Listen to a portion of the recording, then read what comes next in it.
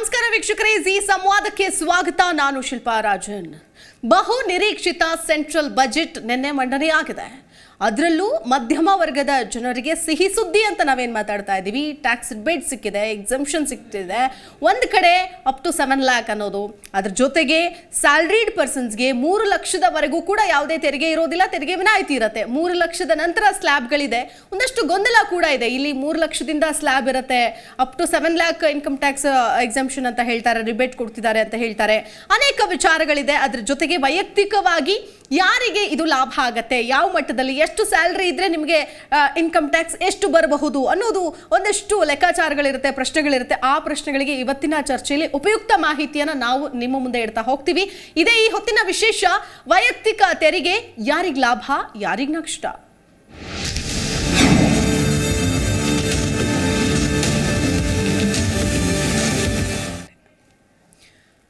S ವೀಕ್ಷಕರೆ ನನ್ನ ಜೊತೆಗೆ ಅತಿಥಿಗಳು ಕೂಡ ಜಾಯ್ನ್ ಆಗ್ತಾ ಹೋಗ್ತಾರೆ. ಮೊದಲಿಗೆ ವಸಂತ ಹೆಗಡೆ ಆರ್ಥಿಕ ತಜ್ಞರು ನಮ್ಮ ಜೊತೆಗಿದ್ದಾರೆ. ನಮಸ್ಕಾರ ಸರ್ ಕಾರ್ಯಕ್ರಮಕ್ಕೆ ಸ್ವಾಗತ. ಎಲ್ಲ ವೀಕ್ಷಕರಿಗೂ ನಮಸ್ಕಾರ. Yes sir. ಮೊಟ್ಟ ಮೊದಲನೇದಾಗಿ ಬಹು ನಿರೀಕ್ಷಿತವಾದಂತಹ ಒಂದು ಬಜೆಟ್ ಅಂತ ಹೇಳ್ಬೋದು. ಅದರಲ್ಲೂ ಈ ಕೇಂದ್ರ ಬಜೆಟ್ಗೆ ಅಷ್ಟೂ ದಿನಗಳಿಂದಲೂ ಕೂಡ ಕಾಯ್ತಾ ಇದ್ವಿ. ಏನಿರುತ್ತೆ ಏನಿರಲ್ಲ ಅನ್ನೋ ಒಂದು ವಿಶ್ಲೇಷಣೆ ಇತ್ತು. ಯಾಕಂದರೆ ಒನ್ಸ್ ಅಗೇನ್ ಕೇಂದ್ರ ಬಜೆಟ್ ಆಗಿರ್ಬೋದು, ರಾಜ್ಯ ಬಜೆಟ್ ಆಗಿರ್ಬೋದು, ಬಹುತೇಕ ಪಾಲು ಜನರ ತೆರಿಗೆ ದುಡ್ಡನ್ನು ಇವರು ಅಲೋಕೇಟ್ ಮಾಡ್ತಾರೆ. ಬೇರೆ ಬೇರೆ ಯೋಜನೆಗಳಿಗೆ ಡೈರೆಕ್ಟ್ ಟ್ಯಾಕ್ಸ್ ಆಗಿರ್ಬೋದು ಇಂಡೈರೆಕ್ಟ್ ಟ್ಯಾಕ್ಸ್ ಆಗಿರ್ಬೋದು ಜಿ ಎಸ್ ಟಿ ಆಗಿರ್ಬೋದು. ಸೊ ಇದೆಲ್ಲವನ್ನೂ ಕೂಡ ಸೋರ್ಸನ್ನು ಯಾವ ರೀತಿಯಾಗಿ ಅಲೋಕೇಟ್ ಮಾಡೋದು ಅನ್ನೋದು.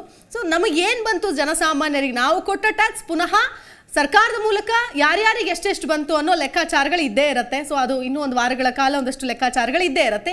ಈಗ ಬಹಳ ಚರ್ಚೆ ಆಗ್ತಾ ಇರೋದು ಅಂತಂದರೆ ಅದು ವೈಯಕ್ತಿಕ ಟ್ಯಾಕ್ಸ್ ಅಂತ ಹೇಳ್ಬೋದು. ಸೊ ಈ ವೈಯಕ್ತಿಕ ಟ್ಯಾಕ್ಸ್ ಅಲ್ಲಿ ಒಂದಷ್ಟು ಗೊಂದಲಗಳು ಕೂಡ ಇದೆ. ಮೊಟ್ಟ ಮೊದಲೇದಾಗಿ ವಿಚಾರಕ್ಕೆ ಸಂಬಂಧಪಟ್ಟಂತೆ ಟ್ಯಾಕ್ಸ್ ಬಗ್ಗೆ ಹೇಳೋದಾದ್ರೆ ಏನು ಹೇಳ್ತೀರಿ? ನಿನ್ನೆ ಬಜೆಟ್ ಏನು ನಮ್ಮ ಹಣಕಾಸು ಮಂತ್ರಿಗಳು ಮಂಡನೆ ಮಾಡಿದ್ರು. ಅದರಲ್ಲಿ ಕೆಲವು ಘೋಷಣೆಗಳು ಮಾಡಿದ್ರು. ಈಗ ತೆರಿಗೆ ವಿಷಯದಲ್ಲಿ ಮಾತಾಡಬೇಕು ಅಂದರೆ ಹೊಸ ಒಂದು ಪದ್ಧತಿ ಇದೆ ತೆರಿಗೆ ಪದ್ಧತಿ ಇದೆ. ಹಳೇದೊಂದು ಪ ತೆರಿಗೆ ಪದ್ಧತಿ ಇದೆ. ಹೌದು. ಈ ಘೋಷಣೆಗಳು ಏನು ಮಾಡಿದ್ರು? ಒಂದು ಐದು ಘೋಷಣೆಗಳು ಮಾಡಿದ್ರು. ಅದು ಹೊಸ ತೆರಿಗೆ ಪದ್ಧತಿಗೆ ಅನ್ವಯ ಆಗುತ್ತೆ ಅಂತ. ಸೊ ಎಲ್ಲಾನು. ಅಂದರೆ ಹಳೇದು ಪದ್ಧತಿ ಏನಿದೆ? ತೆರಿಗೆ ಪದ್ಧತಿ. ಅದರಲ್ಲಿ ಏನು ಬದಲಾವಣೆ ಮಾಡಿಲ್ಲ. ಇದರಲ್ಲಿ ಕೆಲವು ಏನು ಬದಲಾವಣೆ ಮಾಡಿದ್ದಾರೆ ಈ ಹೊಸ ತೆರಿಗೆ ಪದ್ಧತಿಲಿ. ಕೆಲವು ಗೊಂದಲಗಳಿಗೆ ಇದು ಸ್ಪೃಷ್ಟಿ ಉಂಟು ಮಾಡಿದೆ. ಒಂದು ಅಂದರೆ ನನ್ನ ಮೈಂಡಲ್ಲಿ ಅಂದರೆ. ಸೊ ಇದರಲ್ಲಿ ಕೆಲವೇನು ಅಂದರೆ ನಾವು ಇದರಲ್ಲಿ ಏನು ತಿಳ್ಕೊಬೇಕು ಅಂದರೆ ಒಂದು ವಿನಾಯಿತಿ ಅಂತ ಒಂದು ಅಂದರೆ ತೆರಿಗೆ ವಿನಾಯಿತಿ ಒಂದು. ರಿಯಾಯಿತಿ ಅಂತಿದೆ. ರಿಯಾಯಿತಿ ಬೇರೆ ವಿನಾಯಿತಿ ಬೇರೆ.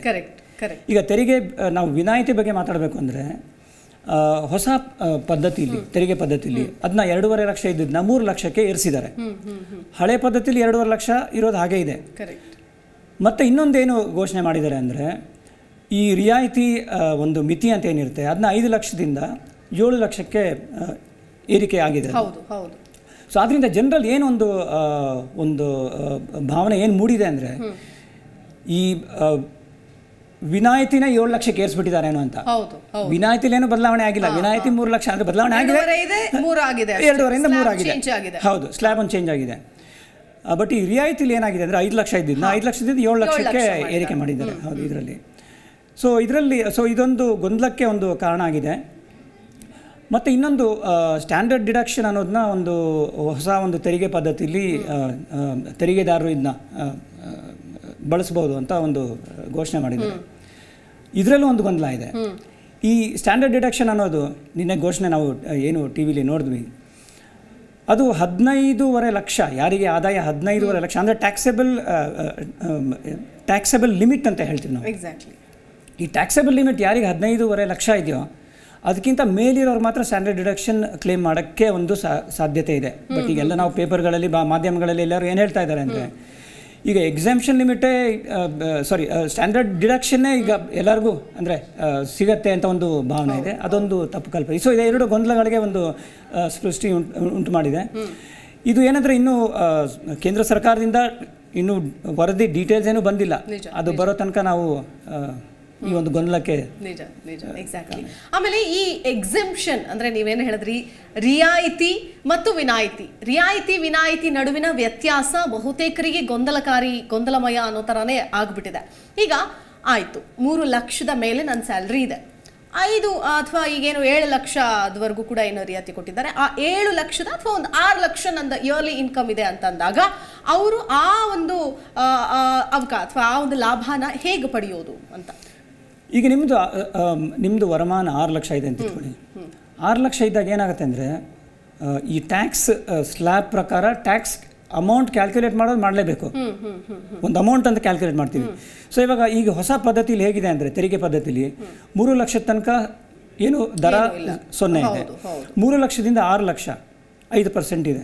ಸೊ ಐದು ಪರ್ಸೆಂಟ್ ಅಂದರೆ ಮೂರು ಲಕ್ಷದ ಮೇಲೆ ಎಷ್ಟಾಯಿತು ಒಂದು ಅಮೌಂಟ್ ಆಯಿತು. ಸೊ ಆರು ಲಕ್ಷದಿಂದ ಮತ್ತೆ ನಿಮ್ದು ಏಳು ಲಕ್ಷ ಅಂತ ಹೇಳಿದ್ರಿ. ಆ ಒಂದು ಲಕ್ಷದ ಮೇಲೆ ಹತ್ತು ಪರ್ಸೆಂಟು ಸೊ ಇದೆಲ್ಲ ನಾವು ಸೇರಿಸ್ಬೇಕು ಆ್ಯಡ್ ಮಾಡಬೇಕು. ಸೊ ಆ್ಯಡ್ ಮಾಡಿ ಒಂದು ಟ್ಯಾಕ್ಸ್ ಲಯಬಿಲಿಟಿ ಅಂತ ಬರುತ್ತೆ. ಸೊ ಟ್ಯಾಕ್ಸ್ ಲಯಬಿಲಿಟಿ ಬಂದ ಮೇಲೆ ಅದರಿಂದ ನಾವು ನಾವು ರಿಯಾಯಿತಿನ ಕ್ಲೇಮ್ ಮಾಡಬೇಕು. ಸೊ ಎಕ್ಸಾಮ್ಷನ್ ಲಿಮಿಟು ವಿನಾಯಿತಿ ಮೂರು ಲಕ್ಷನೇ. ಬಟ್ ರಿಯಾಯಿತಿನ ನೀವು ಕ್ಲೇಮ್ ಮಾಡಬೇಕು ಆಮೇಲೆ ಟ್ಯಾಕ್ಸ್ ಲಯಬಿಲಿಟಿಯಿಂದ ಸೊ ಇದೇ. ಒಂದು ವ್ಯತ್ಯಾಸ. ಕಟ್ಟಲೇಬೇಕು ಇಲ್ಲ ಕಟ್ಟೋದು ಬೇಕಾಗೋದಿಲ್ಲ. ಇಲ್ಲ ಇಲ್ಲ ಕಟ್ಟೋದು ಬೇಕಾಗೋದಿಲ್ಲ. ಟ್ಯಾಕ್ಸ್ ಕಟ್ಟೋದೇನು ಬೇಕಾಗೋದಿಲ್ಲ. ಬಟ್ ಏನಂದ್ರೆ ಇದು ಕ್ಲೇಮ್ ಮಾಡೋದು ಮಾಡಲೇಬೇಕು.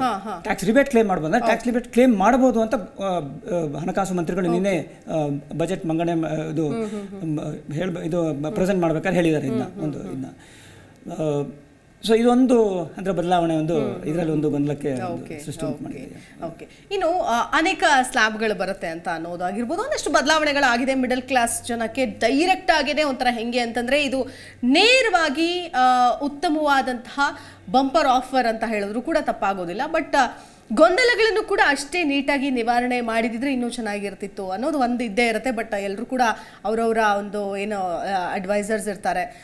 ಫೈನಾನ್ಷಿಯಲ್ ಅಡ್ವೈಸರ್ಸ್ ಆಗಿರ್ಬೋದು ಸಿ ಎ ಹತ್ರ ಆಗಿರ್ಬೋದು. ಸೊ ಅವರು ಒಂದಷ್ಟು ಮಾಹಿತಿಗಳನ್ನು ಪಡೆದುಕೊಳ್ಬೋದು ಹೇಗೆ ನನ್ನ ಸ್ಯಾಲ್ರಿ ಇಷ್ಟಿದೆ. ಈಗ ಫಾರ್ ಎಕ್ಸಾಂಪಲ್ ಒಂದು ಐವತ್ತು ಸಾವಿರ ತಿಂಗಳಿಗೆ ಸಂಬಳ ಬರ್ತಾ ಇರುತ್ತೆ ಅಂತ ಅಂದ್ಕೊಳ್ಳೋಣ ಈಗ ಯಾಕಂದರೆ ಎಷ್ಟೋ ಜನಕ್ಕೆ ಕ್ವೆಶನ್ಸ್ ಇರುತ್ತೆ. ಈಗ ನಂದು ಇಷ್ಟು ಸಂಬಳ ಇದೆ. ಅದರಲ್ಲಿ ಮತ್ತೆ ಬೇಸಿಕ್ ಬೇರೆ ಆಗಿರುತ್ತೆ ಚಾರೆ ಬೇರೆ ಆಗಿರುತ್ತೆ ಡಿ ಎ ಟಿ ಎ ಬೇರೆ ಇದೆಲ್ಲವೂ ಕೂಡ ಸೇರಿ ಒಂದು ಗ್ರಾಸ್ ಸ್ಯಾಲ್ರಿ ಇಷ್ಟು ಇರುತ್ತೆ ಅಂತ ಅನ್ಕೋಣ. ಸೊ ಇದರಲ್ಲಿ ನೆಟ್ ಸ್ಯಾಲ್ರಿ ಅಂದರೆ ಇದರಲ್ಲಿ ಈಗ ಟ್ಯಾಕ್ಸು ಅಥವಾ ಟ್ಯಾಕ್ಸ್ ಲಿಮಿಟು ಈ ಥರದ್ದು ಇರುತ್ತಾ? ಅಥವಾ ಒಟ್ಟಾರೆಯಾಗಿ ಬರುವಂಥ ಇನ್ಕಮ್ ಮೇಲೇ ಟ್ಯಾಕ್ಸ್ ಬರುತ್ತಾ? ಅಲ್ಲ ಒಟ್ಟಾರೆ ಒಂದು ನಿಮ್ಮದು ಏನು ಇನ್ಕಮ್ ಅಂತ ಕೆಲವು ಬೇರೆ ಬೇರೆ ಸೋರ್ಸ್ಗಳಿದೆ ಈಗ ಒಂದು ನೀವು ಸಂಬಳದಿಂದ ಬರ್ಬೋದು ಇನ್ನೊಂದು ನಿಮ್ಮ ರೆಂಟಿಂದ ಬರ್ಬೋದು. ಇನ್ನು ಕೆಲವು ನೀವು ಒಂದು ಒಂದು ವೃತ್ತಿ ಇರ್ಬೋದು ನಿಮ್ದು. ನೀವು ಡಾಕ್ಟರ್ ಆಗಿರ್ಬೋದು ಅಡ್ವೊಕೇಟ್ ಆಗಿರ್ಬೋದು ನಿಮ್ಮ ಅದರಿಂದನೂ ಒಂದು ಆದಾಯ ಬರ್ತಾ ಇರ್ಬೋದು. ಕೆಲವು ಕ್ಯಾಪಿಟಲ್ ಗೇನ್ಸಿಂದ ಬರ್ತಾ ಇರ್ಬೋದು. ಸುಮಾರು ಅಂದ್ರೆ ಒಂದು ಐದು ಸೋರ್ಸ್ ಆಫ್ ಇನ್ಕಮ್ ಅಂತ ನಮ್ಮ ಇನ್ಕಮ್ ಟ್ಯಾಕ್ಸ್ ಆ್ಯಕ್ಟಲ್ಲಿ ಹೇಳುತ್ತೆ. ಸೊ ಇದೆಲ್ಲಾನು ಸೇರಿಸಿ ಒಂದೇನೊಂದು ಅಮೌಂಟ್ ಅಂತ ಬರುತ್ತೆ ಅದು ಗ್ರಾಸ್ ಟೋಟಲ್ ಇನ್ಕಮ್ ಅಂತ ನಾವು ಹೇಳ್ತೀವಿ. ಸೊ ಆ ಇನ್ಕಮಿಂದ ಹಳೆ ಆ, ಪದ್ಧತಿಲಿ ತೆರಿಗೆ ಪದ್ಧತಿಲಿ ಡಿಡಕ್ಷನ್ಸ್ ಅಂತ ಸಿಗ್ತಾ ಇತ್ತು. ತೆರಿಗೆದಾರರು ಕ್ಲೇಮ್ ಮಾಡ್ಬೋದಿತ್ತು. ಎ ಟಿ ಸಿ ಇದೆ ಕಲಂ ಎಂಬತ್ತರ ಅಡಿಯಲ್ಲಿ ಎಂಬತ್ತು ಡಿ ಇದೆ ಇ ಇದೆ ಸೆಕ್ಷನ್ ಇಪ್ಪತ್ನಾಲ್ಕಿದೆ ಜಿ ಜಿ ಸಿ ಅಂತಿದೆ. ಇದೆಲ್ಲ ನಾನು ತೆರಿಗೆದಾರ ಕ್ಲೇಮ್ ಮಾಡಿ ಆಮೇಲೆ ಏನು ಬರುತ್ತೆ ಅದಕ್ಕೆ ನಾವು ಟ್ಯಾಕ್ಸೆಬಲ್ ಲಿಮಿಟ್ ಅಂತ ಹೇಳ್ತೀವಿ. ಸಾರಿ ಟ್ಯಾಕ್ಸೆಬಲ್ ಇನ್ಕಮ್ ಅಂತ ಹೇಳ್ತೀವಿ.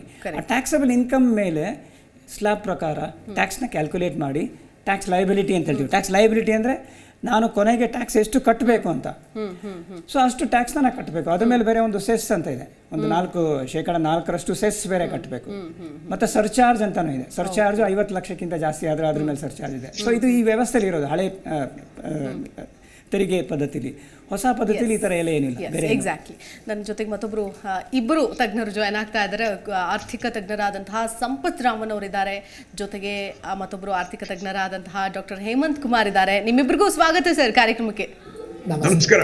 Yes yes thank you thank you ಮೊದಲನೇದಾಗಿ ಸಂಪತ್ ರಾಮನ್ ಸರ್ ಏನು ಹೇಳ್ತೀರಿ ಸರ್? ಟ್ಯಾಕ್ಸ್ ಏಕೆಂದರೆ ಹಲವಾರು ಗೊಂದಲಗಳಿದೆ ಪ್ರಶ್ನೆಗಳಿದೆ.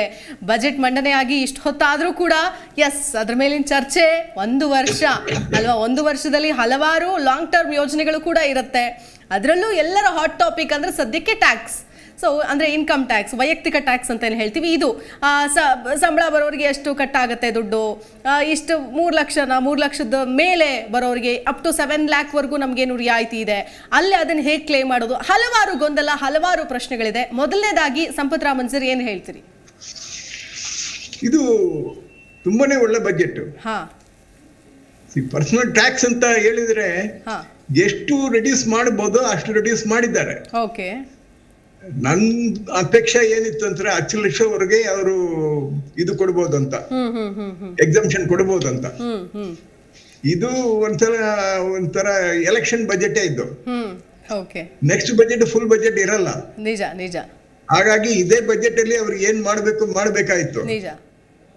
ಅಟ್ಲೀಸ್ಟ್ ಎಲೆಕ್ಷನ್ ಇದನ್ನ ಕಣ್ಣಲ್ಲಿ ಎದುರು ಇಟ್ಕೊಂಡು ಟ್ಯಾಕ್ಸ್ ಟ್ಯಾಕ್ಸ್ ಎಕ್ಸಿಬಿಷನ್ ಕೊಟ್ಟರೆ ಒಳ್ಳೇದಾಯ್ತು. ನಿಜ. ಇದು ಈ seven lakh to ten lakh ವರೆಗೆ ಇರುವರು ಅಬೌಟ್ ಸೆವೆಂಟೀನ್ ಪರ್ಸೆಂಟ್ ಇದರಲ್ಲಿ ಜಾಸ್ತಿ ಇನ್ಕಮ್ ಏನು ಬರೋದಿಲ್ಲ. ನಿಜ ನಿಜ.